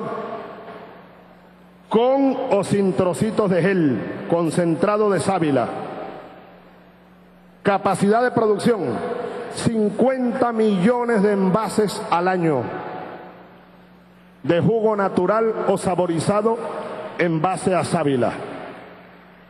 Zona industrial de Coro, Falcón. Aquí no dice cuántos trabajadores. Sí, aquí está. Trabajadores directos que ya están en la planta. Algunos fueron incluso a China a capacitarse. 150 trabajadores. Son trabajadores del sector público, trabajadores sociales, de la economía social, de la propiedad social y 450 trabajadores indirectos, empleos indirectos. Aquí está otro. Planta de leche, planta procesadora de leche de 18 mil litros por día en San José de Guaribe. Aquí están las fotos. Está lista para inaugurar, para producir leche pasteurizada, queso pasteurizado y yogur. ¿Dónde? Allá en el estado Guárico, pues en, en Guaribe. Ustedes son de Guárico.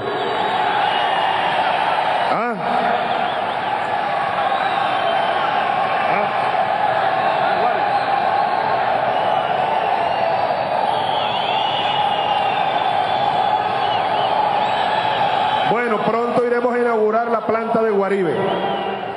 28 trabajadores directos y trabajadoras. 6 millones y medio de litros al año. ¿Eh? ¿Con apoyo de quién? ¿Tecnología de dónde? De Irán. También dice la oposición que eso es negativo. que Un Estado terrorista y no sé qué más. Claro, lo de ellos es Miami, New York y no sé qué más. Planta de leche Manuel Piar, del mismo tamaño. Upata, en el estado Bolívar. Está lista, 6 millones y medio de litros por año. Planta de leche Libertador, en Táchira, en el Milagro, del mismo tamaño. Planta procesadora de maíz, está lista, son nuevas plantas. La Paragua, en el estado Bolívar, 72 toneladas por día de harina de maíz precocida. 90 trabajadores directos y 270 indirectos. Yo digo todo esto porque este es parte de los planes en marcha dentro de una estrategia continuar fortaleciendo la economía socialista a través del impulso que le da el Estado, el sector público, y todo esto son inversiones del Estado. La oposición dice lo contrario, que esto no, esto es negativo, que esto hay que dejárselo al sector privado todo, que el Estado hay que reducirlo. Es el paquete neoliberal lo que ellos proponen. Planta procesadora de frutas y tubérculos Anasoto, eso es en el estado Lara, en Bobare, 60 empleos directos para producir concentrado de piña, néctar de piña y lechosa, jugos pasteurizados, 16 mil toneladas por año. Está lista para ser inaugurada.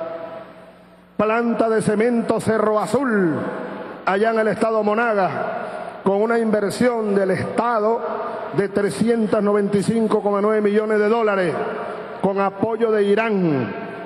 Trabajadores, 250 trabajadores directos. Un millón de toneladas de cemento por año va a producir. Planta de última tecnología. Hace poco le faltaba, era la acometida eléctrica que estaba haciendo la Corpoelec. Ya llegó el cable para la electricidad. Otra procesadora de leche en Valle de la Pascua.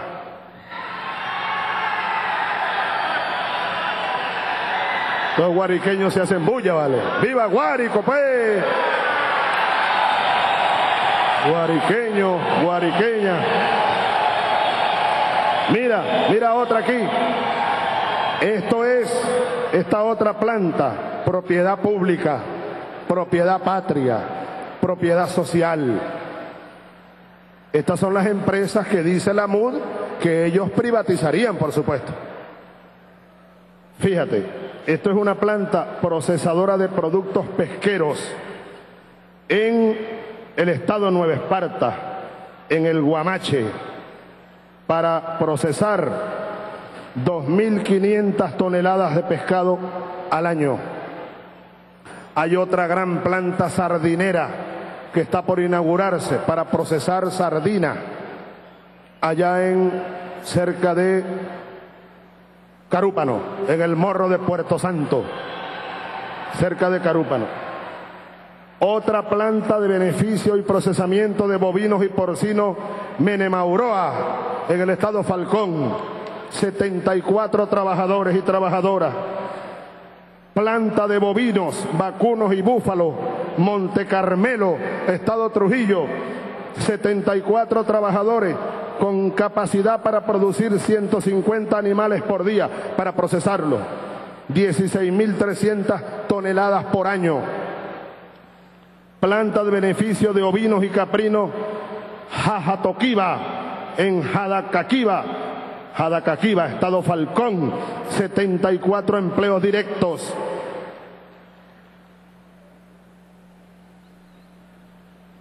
Planta para procesar alimentos en Guanare, 180 trabajadores y trabajadoras para el procesamiento y almacenamiento de cárnicos, frutas, vegetales, lácteos y mecanizado de piezas planta de estructuras metálicas, fábrica Leonardo Rivas. Esto es en Monagas. Temblador, vía Mata Negra, 50 trabajadores. Otra fábrica de estructuras metálicas en Tinaquillo. Una planta procesadora de maíz Leander en Socopó, Estado Barina. Frutas y tubérculos. Otra en Menegrande. Refrigeración industrial Yaray Yaray en Yaracuy complejo industrial para la fabricación de electrodomésticos, módulo de neveras, aires acondicionados y neveras, fábrica en Miranda, municipio Simón Bolívar. Esta es para septiembre 2012 y abril 2013. La segunda etapa es una fábrica muy grande, muy grande. Esto es con la empresa Haier, una de las más grandes del mundo. Estamos montando fábricas aquí de tractores, de camiones, de taladros petroleros, de procesamiento de alimentos. Es decir, la economía socialista, la economía de propiedad social va a seguir creciendo. Y es allí una de las tareas más grandes que tiene la clase obrera, la central de trabajadores bolivarianos y socialistas de Venezuela, los trabajadores de la ciudad, trabajadoras del campo, trabajadores del campo, de la pesca. Por allá está otra planta grande de cacao, en el estado Sucre también procesamiento de cacao. Fábricas de inyección de plástico para producir partes de plástico, fábricas de cemento, nueva siderúrgica, nuevas plantas procesadoras de aluminio, nuevas plantas petroquímicas, nuevas fábricas de petrocasa, nuevos centros diagnósticos integrales, nuevos hospitales públicos. Es decir, nosotros sí vamos, y así lo digo responsablemente, vamos a seguir incrementando la inversión social, la inversión pública. Vamos a seguir fortaleciendo el Estado Nacional nacional. Ah, eso solo podemos hacerlo en el marco de la independencia nacional. De allí la importancia de la propuesta y los cinco grandes objetivos históricos de la revolución bolivariana. Consolidar la independencia nacional. Y para eso, lo más grande que tenemos ahorita como reto es ganar las elecciones del 7 de octubre y garantizar que se respete la decisión del pueblo venezolano. Garantizar el respeto de la victoria del pueblo en las urnas electorales el 7 de octubre.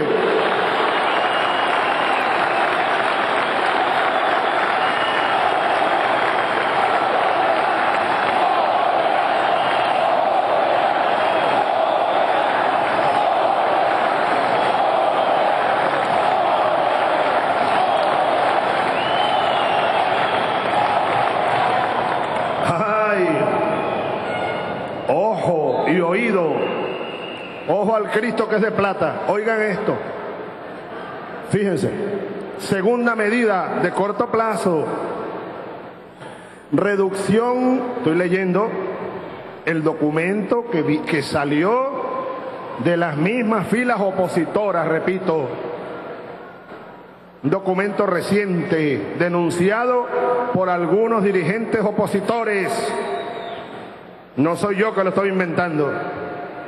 No, que salgan a desmentirlo, pues, si fuera falso. Pero hay dirigentes opositores denunciando esto. Fíjense. Segundo, reducción y transferencia gradual a los estados y municipios de todos aquellos gastos que representan un peso importante dentro del gasto público total, especialmente las misiones que son percibidas por la población como competencias institucionales y no como programas sociales, dicen ellos, ¿no? Bueno, y más adelante dicen, hay que replantear un nuevo esquema de atención social sin que comprometa, sin que comprometa solo la, inversión pública. sino abrir puertas a la iniciativa privada, entre comillas, los CDI, la Misión Mercal, Robinson, Rivas y Sucre. Abrirlo a la inversión privada. Eso se llama privatización de la salud, privatización de la educación, algo que no es nuevo. Ya ellos lo hicieron aquí en los 80 y en los 90. Y es lo que hemos nosotros venido desmontando y al mismo tiempo armando una nueva estructura política, jurídica, social y económica, cuyo objetivo es la justicia, la justicia social, como diría Simón Bolívar, hagamos triunfar la justicia y triunfará la libertad. Sin justicia no hay libertad que valga. Son dos elementos que deben combinarse como el hidrógeno y el oxígeno en el agua.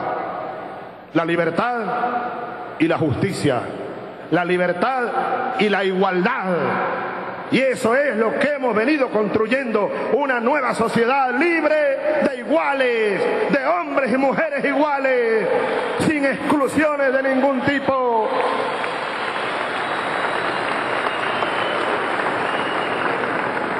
Fíjate esto. Ah, mira lo que dice aquí.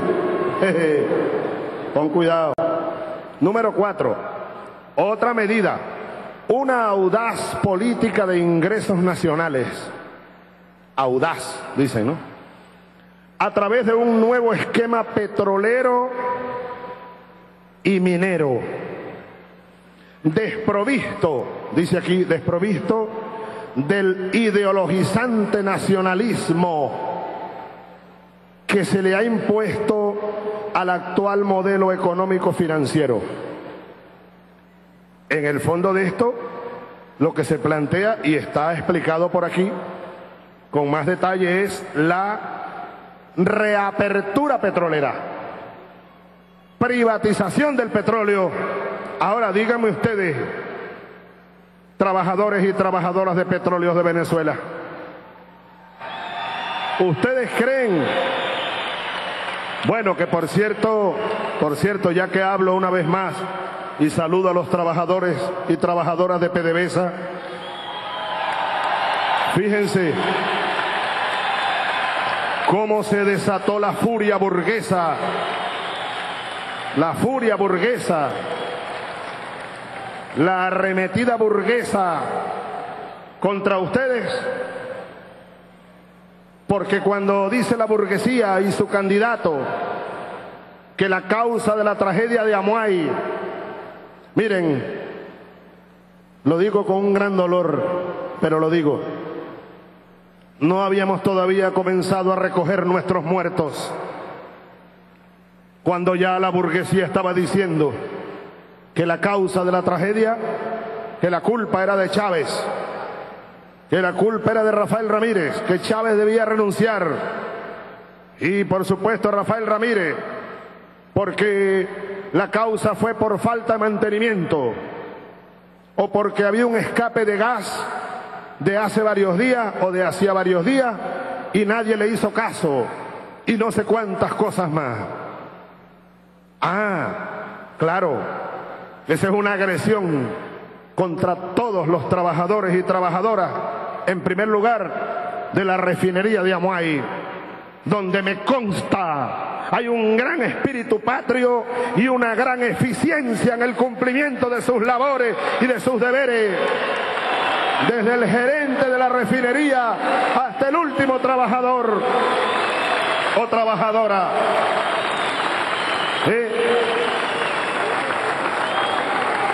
Entonces comienza la burguesía y sus medios de comunicación a decir que no, que es que no hay mantenimiento, que, que los que sí sabían de eso fue los que Chávez votó. Fíjate tú hasta dónde llega el cinismo de esta gente. Ellos que paralizaron esa refinería y otras más y le hicieron un grave daño a PDVSA y al país. Ahora vienen a decir que yo voté 20 mil trabajadores y que por eso la culpa es mía, por esto que está ocurriendo. porque eso sí sabían, eso sí sabían, jalarle bola al imperialismo y a la burguesía. Esos sí eran los jalabolas del imperialismo, los serviles del imperialismo, Majunche. Jalabola tú, Majunche.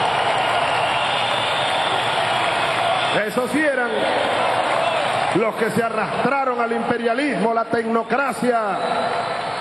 Hoy PDVSA está en manos de los trabajadores con dignidad, con patriotismo y con una gran calidad en el manejo de sus responsabilidades, de sus procesos, desde la extracción primaria hasta el procesamiento y la distribución de los productos del petróleo a nivel nacional y a nivel internacional. Porque PDVSA llegó ya a China. Ah, claro. ¿Qué dice la burguesía? No, ¿para qué China? PDVSA es socia ya de las más grandes empresas petroleras de China.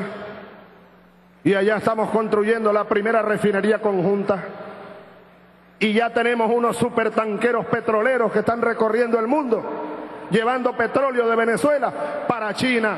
Y ya estamos por cerca de 600 mil barriles diarios y vamos rumbo a un millón. Y llegará el día en que le mandemos hasta dos millones de barriles de petróleo a la República Popular China. Y lo que necesiten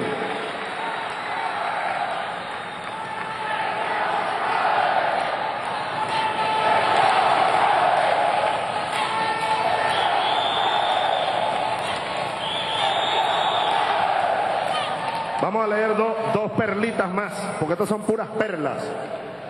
Para la batalla, para la batalla mediática, comunicacional, todos los días, por los medios de comunicación más pequeños, más grandes, en la calle, asambleas, reuniones en el barrio, reuniones en las comunidades. Oigan esto, que dice aquí, las acciones de política económica del supuesto gobierno del Jalabola. Fíjate lo que dice aquí. Reducir, oye, reducir gradualmente las transferencias de recursos hacia los consejos comunales para la construcción y o, y o adecuación de viviendas estos recursos deberán ser destinados a los estados y municipios que han desarrollado iniciativas exitosas para la construcción de vivienda, entre otros, Miranda, ¿no? Ustedes vieron el plan Zurra. Plan Zurra, porque nosotros tenemos el plan que es SUBI, Surbi, yo diría yo, sustitución de rancho por vivienda. El Majunche en Miranda puso en marcha el plan Zurra, sustitución de rancho por otro rancho. Entonces, esas son las políticas exitosas que ellos llaman, ¿no? De vivienda. Bueno, en atención a lo anterior, es necesario reorganizar, dicen ellos, y reorientar los programas de construcción de viviendas enmarcadas en la misión vivienda, Rafael. Fíjense, reorganizar. Ese es el verbo que ellos usan, ¿no? El eufemismo. Y reorientar la gran misión vivienda. Realizando alianzas con el sector privado y garantizando el retorno del crédito otorgado por las instituciones financieras. Bueno, olvídense del subsidio porque la revolución está entregando vivienda. Y en muchos casos el subsidio llega hasta el 100% para los más pobres, en otros casos para las clases medias, sectores medios que tienen hasta cuatro salarios mínimos, el subsidio es hasta de 40 y 50% y ahora lanzamos el otro plan, el 0800 Mi Hogar, dirigido sobre todo a los sectores medios cuyo ingreso está por encima de los cinco salarios mínimos, para facilitarles una vivienda digna a los sectores medios, profesionales, la clase media. Tenemos un segundo acto pendiente, Rafael, de Fíjate esto. En este mismo sentido, sigo leyendo, es necesario suspender el esquema de subsidio a la vivienda implementado en esta misión, ya que resulta imposible, dicen ellos, para el nuevo gobierno seguir subsidiando gran parte de esta. Olvídense. Por eso, esto es retrógrado esto es lo viejo, el viejo capitalismo, el viejo paquete de Carlos Andrés Pérez, que pretenden ahora meterlo disfrazado de progresismo, como si fuéramos pendejos nosotros. Majunche, ¿tú crees que somos pendejos a la bola? ¿Ah? Este pueblo ya no es pendejos a la bola.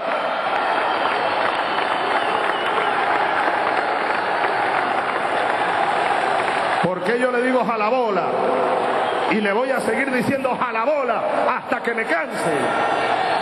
Porque cuando él le dice bola a los trabajadores venezolanos, está ofendiendo la dignidad del pueblo y de la patria toda. La dignidad nacional. Él es el jalabola. Mil veces jalabola.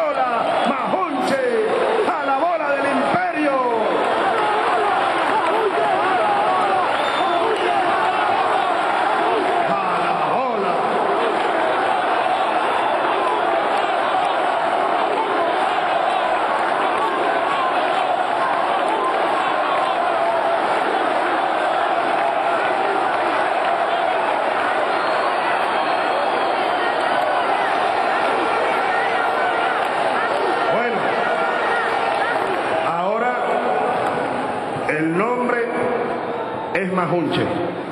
¿Y el apellido? Majunche. A la bola.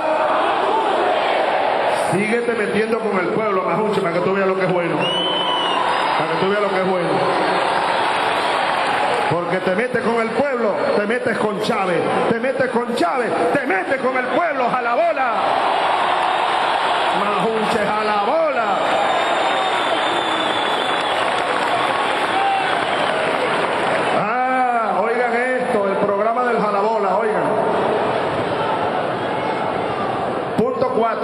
Del programa del, del Majunches a la bola. En concordancia con el programa de gobierno de unidad nacional, dice aquí, la desvinculación de los entes públicos. Ellos, eso sí, ellos tienen un, un, lenguaje exquisito. lenguaje exquisito. ¿eh? La desvinculación de los entes públicos de las actividades productivas y comerciales tiene que empezar con la reducción gradual del sistema subsidiado de distribución pública masiva de alimentos. ¿Qué te parece? Y concertar con actores privados, pequeños y grandes comercios, la incorporación de estos a un sistema de distribución que llegue a la población de menores recursos.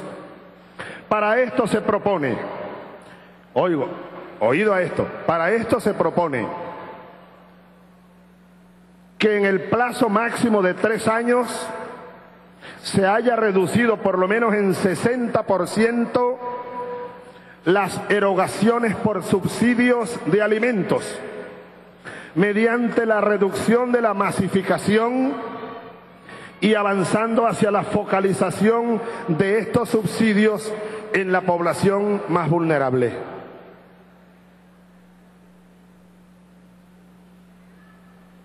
Ah, no se salva energía eléctrica. Cinco. Bueno, esto que he leído es eliminación de mercado, compadre. Claro, no ve que cuánto, cuánta plata deja de ganar la burguesía los amos del valle con Mercal. Miles de millones de bolívares al año. Carne, leche,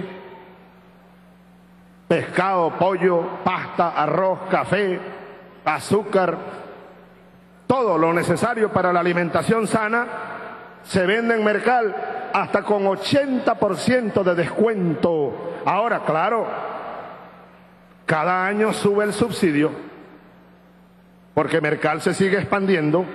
Cada día hay ferias de alimentos, más ferias, más mercales. Miren, ¿no han ido ustedes allá al gran abasto bicentenario de la Plaza Venezuela? Bueno, no se da abasto, hay que, habrá que inaugurar otro grande pronto. Nuevos mercales, nuevos pedevales, nuevos abastos bicentenarios, alimentos de calidad y muy baratos para el pueblo. Y esto, cuando digo pueblo, estoy incluyendo a los sectores medios, la clase media, dése cuenta, dense cuenta, compatriotas de la clase media venezolana que esta revolución es de ustedes también y es para el beneficio también. ¿Qué dices tú? ¿Ah? ¿Qué es esto aquí? Honrón, honrón. ¿Ah? ¿Qué dices tú? A ver, que no entiendo la seña. Que esta revolución es para todos, comandante. Es para todos, gracias, compadre. Gracias, hermano. ¿Tú de dónde eres? Esa planta Batire, comandante, de Barlovento. Ah, de Barlovento, más nada, Barlovento, Barlovento. Barlovento, gracias, de planta Guatire. Esa que sabotearon los escuálidos, pero ustedes la recuperaron. Como recuperamos toda PDVSA, recuperamos la patria y estamos desarrollando la economía nacional. Ahora, fíjense, aquí vale la pena otro comentario. ¿Por qué el gobierno que yo presido, por voluntad de ustedes, ¿por qué, por qué este gobierno puede... miren, ¿por qué... Fíjense, ustedes están gritando allá no sé qué, pero les aseguro, no, oigan, oigan esto, oigan esto, yo, yo, yo les aseguro que esos gritos esos gritos de ustedes que son de apoyo a la patria, los agarra, no, los agarra la, la, contrarrevolución y van a decir, no, estaban protestando contra Chávez. ¿eh? ¿Qué es lo que ustedes gritan ahí? Ay, ¿qué es lo que dicen ustedes? A ver. Ajá. Quiero no sé qué más. Ajá. Bueno. Hola, hay un niño allá, una niña, una niña, un niño, una niña. Bueno, fíjense una cosa. Ahora, permítanme, permítanme terminar estas reflexiones que me parecen de lo más importante en este momento histórico que estamos viviendo. Fíjense, ¿por qué el gobierno que yo presido, por decisión de ustedes, de la mayoría de los venezolanos, por qué puede Fíjense la palabra que estoy usando, el verbo. ¿Por qué podemos subsidiar la vivienda? ¿Por qué podemos subsidiar los alimentos del pueblo? ¿Por qué podemos invertir en eso, en ello, miles de millones de bolívares al año? ¿Por qué nosotros podemos lanzar la misión en amor mayor y financiar con ello las justas pensiones para cientos de miles y millones de venezolanos y venezolanas? ¿Por qué nosotros podemos lanzar la gran misión hijos e hijas de Venezuela para las madres más pobres, los hijos de las familias más pobres? ¿Por qué nosotros podemos lanzar la gran misión agrovenezuela para financiar a los pequeños y medianos productores? ¿Por qué nosotros podemos lanzar y con ello miles de millones de bolívares cada año, pero miles de millones, la misión barrio adentro, etcétera? Porque las pensiones, el salario mínimo, ¿por qué nosotros levantamos? Mañana entra en vigencia un nuevo incremento del salario mínimo que nos coloca en el primer lugar en América Latina. Mañana 15% más para más de 32% en el año, muy por encima de la inflación de este año, que ya rompió el piso del 20%. Y todo eso va a seguir incrementando el llamado poder adquisitivo del trabajador, de la trabajadora, de la familia trabajadora, de la familia venezolana. ¿De dónde sacamos plata para eso, pues?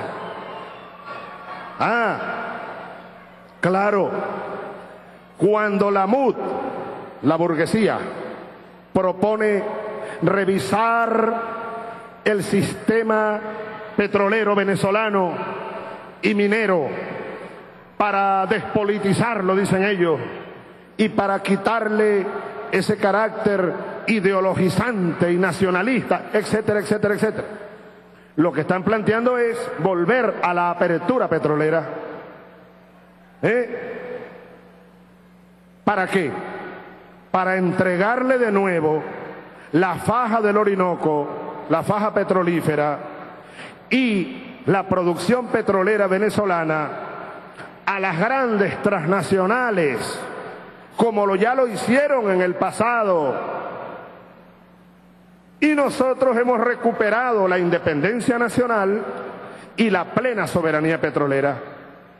Y hemos creado a través de la Constitución, después de la Constitución, la nueva ley orgánica de hidrocarburos, la nueva ley orgánica de hidrocarburos gaseosos, las nuevas leyes impositivas que nos permitieron llevar el cobro de la regalía petrolera, por ejemplo, que la derecha venezolana entregó a 1%, eso era lo que pagaban las empresas transnacionales.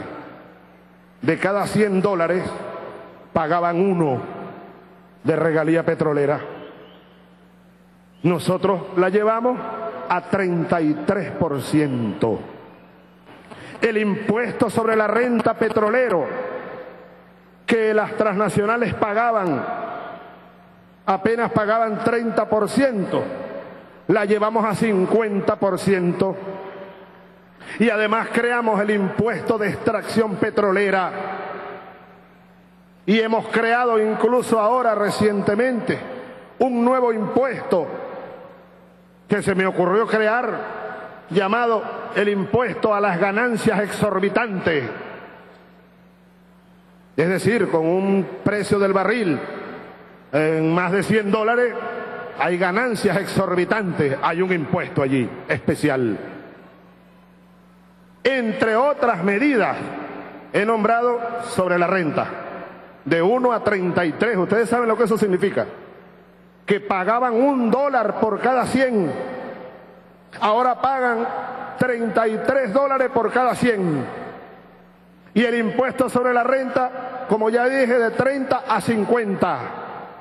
El impuesto de extracción, el impuesto exorbitante, cuatro medidas que hemos creado.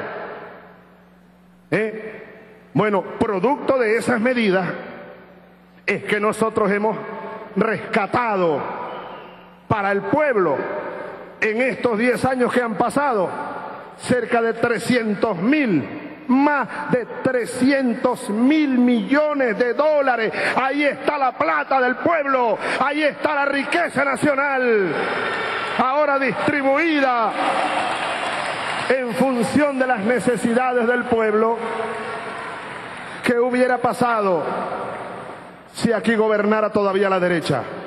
Ni un centavo de esos 350 mil millones de dólares se hubiera quedado aquí. Todo se hubiera ido como ganancia de las transnacionales y la burguesía criolla, la gran burguesía, llenándose de plata, llenándose de plata a través de sus negocios.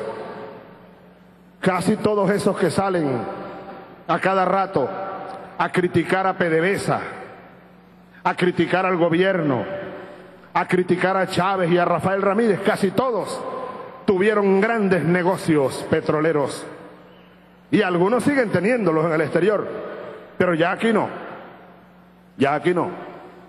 Hicieron jugosas ganancias y grandes fortunas manejando los negocios petroleros. Algunos incluso, siendo miembros de las directivas de PDVSA, tenían empresas privadas y tenían dos o tres barcos y los traían, llenaban petróleo aquí, en Guaraguao, o allá en Amuay, o allá en, en Zulia, y se llevaban el petróleo, y aquí pagaban una miseria, y allá lo vendían bien caro. Manejaban el comercio, manejaban empresas relacionadas, tercerizaron a miles de trabajadores. Ahora, yo estaba hablando de los recursos que tenemos, ¿ves? Una política revolucionaria, una política económica, petrolera y fiscal revolucionaria es lo que nos permite tener los recursos necesarios para seguir apoyando las grandes misiones, las misiones, la inversión social, la construcción de fábricas, la construcción de carreteras, la construcción de ferrocarriles, de metros, de metrocable, cable tren, etcétera, hospitales, escuelas, laboratorios, computadoras, fibra óptica, satélite Simón Bolívar. Dentro de poco estaremos lanzando el segundo satélite venezolano, el satélite Miranda. Equipamiento para la Fuerza Armada, para la soberanía y defensa del país. Salarios dignos para los trabajadores, seguridad social para la clase obrera, para los pensionados, etcétera, vivienda. Ahí están los recursos. Ahí están los recursos que al pueblo y a los trabajadores se los robaron durante 100 años y más. ¿Quién? La burguesía, arrastrada al imperialismo. Ahí está, ahí tengo el libro, por ahí tengo el otro libro. Juan Pablo Pérez Alfonso, hundiéndonos en el excremento del diablo. Él fue adeco, pero fue un nacionalista, uno de los creadores de la OPEP, fue ministro de, de Energía de Rómulo Betancourt, si mal no recuerdo. Y en 1975 escribe este libro, hundiéndonos en el excremento del diablo. Aquí, por ejemplo, dice Pérez Alfonso, tomando cifras oficiales, que en los primeros 19 años, 19 años de explotación y exportación petrolera, es decir, desde 1917, 1917, cuando salió el primer barco cargado de petróleo venezolano del puerto de San Lorenzo, allá en el Zulia, hasta 1935, cuando muere el tirano, el traidor Juan Vicente Gómez, el vendepatria Juan Vicente Gómez. En esos 19 años, Venezuela ya era, cuando muere Gómez, el primer exportador mundial de petróleo. Desde 1928 se convirtió Venezuela en el primer exportador mundial de petróleo. En esos 19 años, las compañías yanquis se llevaron de Venezuela más de mil millones de barriles de crudo del más liviano. Pongan cuidado, más de mil millones. ¿Y saben a cuánto pagaban el precio? Un dólar por barril. ¿Y cuánto pagaban de impuestos? 3%. Por eso es que los yanquis apoyaron a Gómez hasta que se murió. Y por eso es que derrocaron, habían derrocado a Cipriano Castro. Y por eso es que derrocan a Rómulo Gallego y a Medina Engarita y matan a Delgado Chalbó. Para seguir imponiendo jalabola en Miraflores. Pero más nunca volverá un jalabola a Miraflores. Más nunca volverá un jalabola a Miraflores. Oíste, Majunche, jalabola. Jalabolas del imperialismo. Jalabolas de la burguesía. Jalabolas de Fede Cámara. Eh, ahora, fíjense, en esos 19 años, grábense esta cifra,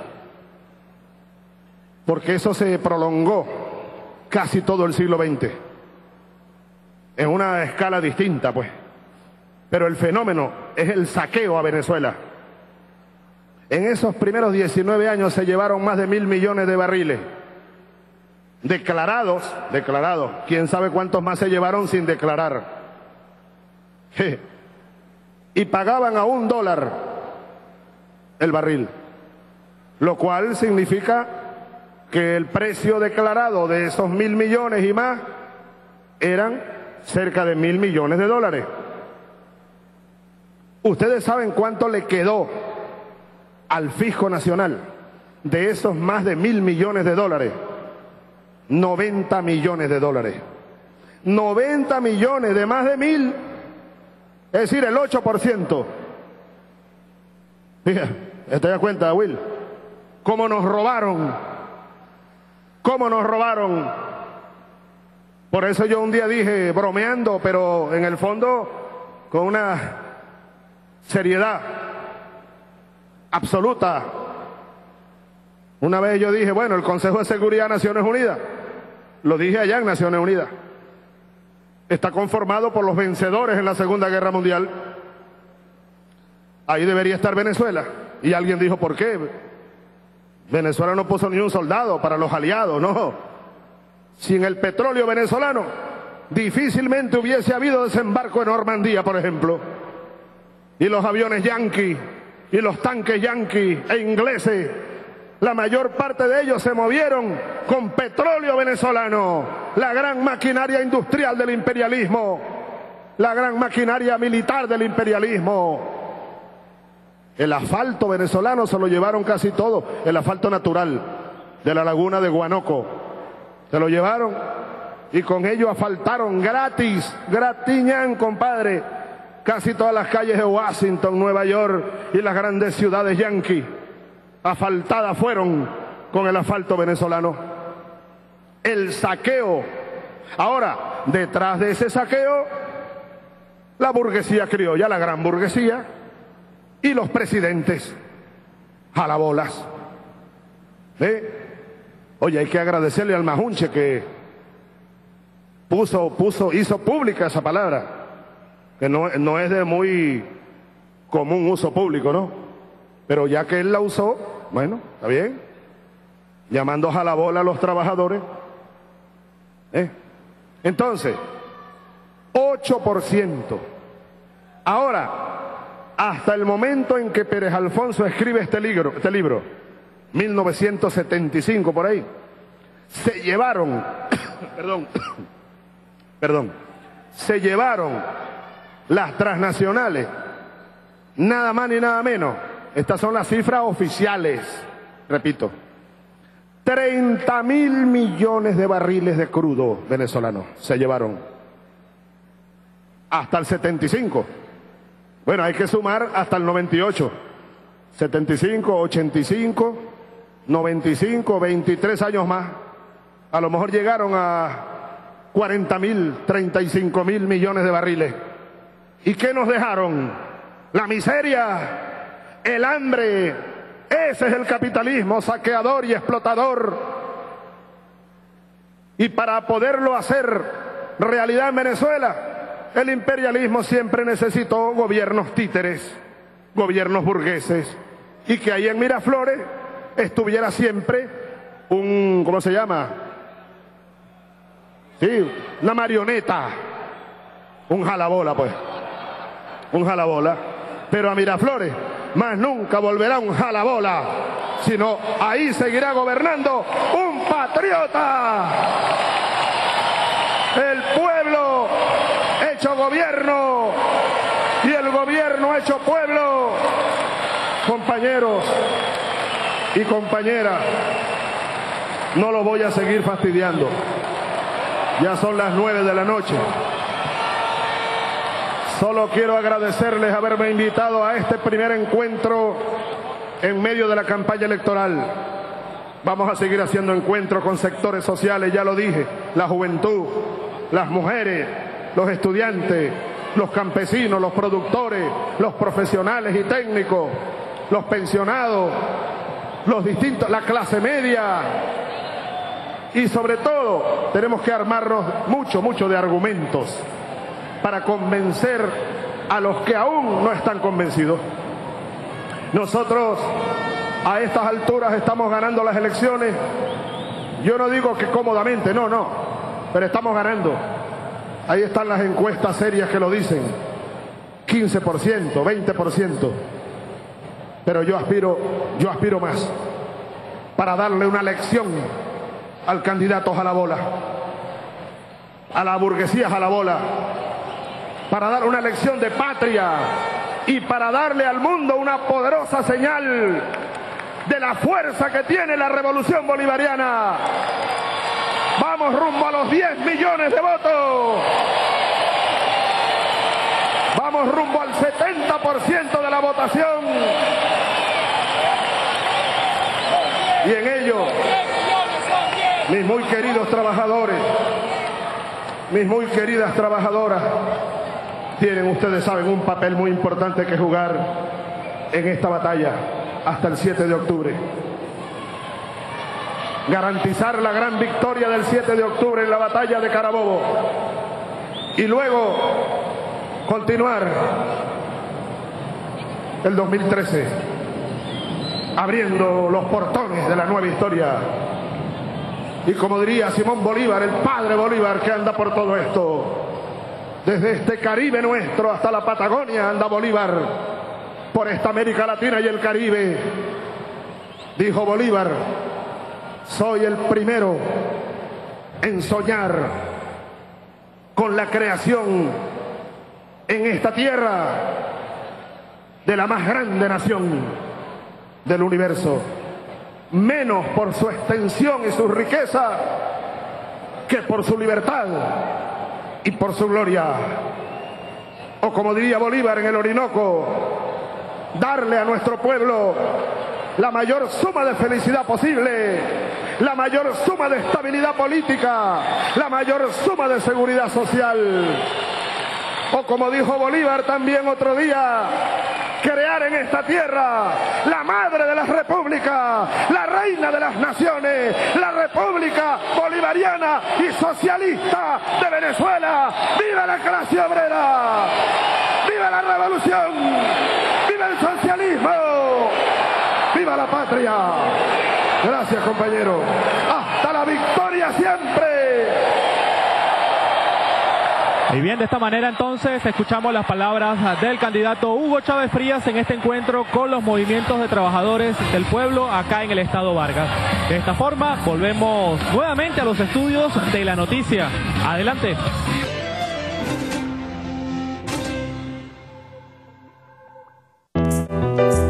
Oye, allá, compañeros de los cedros. Oye, bueno, nos vamos a encargar que les llegue toda la comida que le haga falta, el agua potable.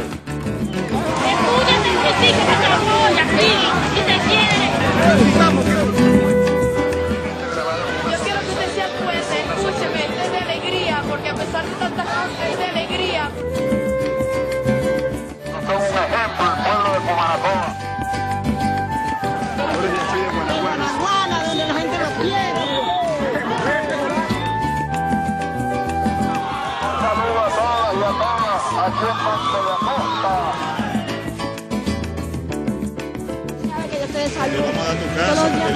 Salud. tus hijos y nietos. Canta y no llores, porque cantando se alegran cielito lindo los corazones. Hasta la victoria siempre. Yo conocí una Venezuela en la que la cultura y la historia eran irrespetadas y olvidadas por los gobernantes. Yo conozco una Venezuela patriota donde la cultura y la historia de nuestro pueblo son valoradas y llevadas a todos. Con Chávez, la Venezuela que yo conocí cambió para mejor y para siempre. Porque con Chávez, nuestra patria sigue cambiando todos los días. Chávez, corazón de mi patria.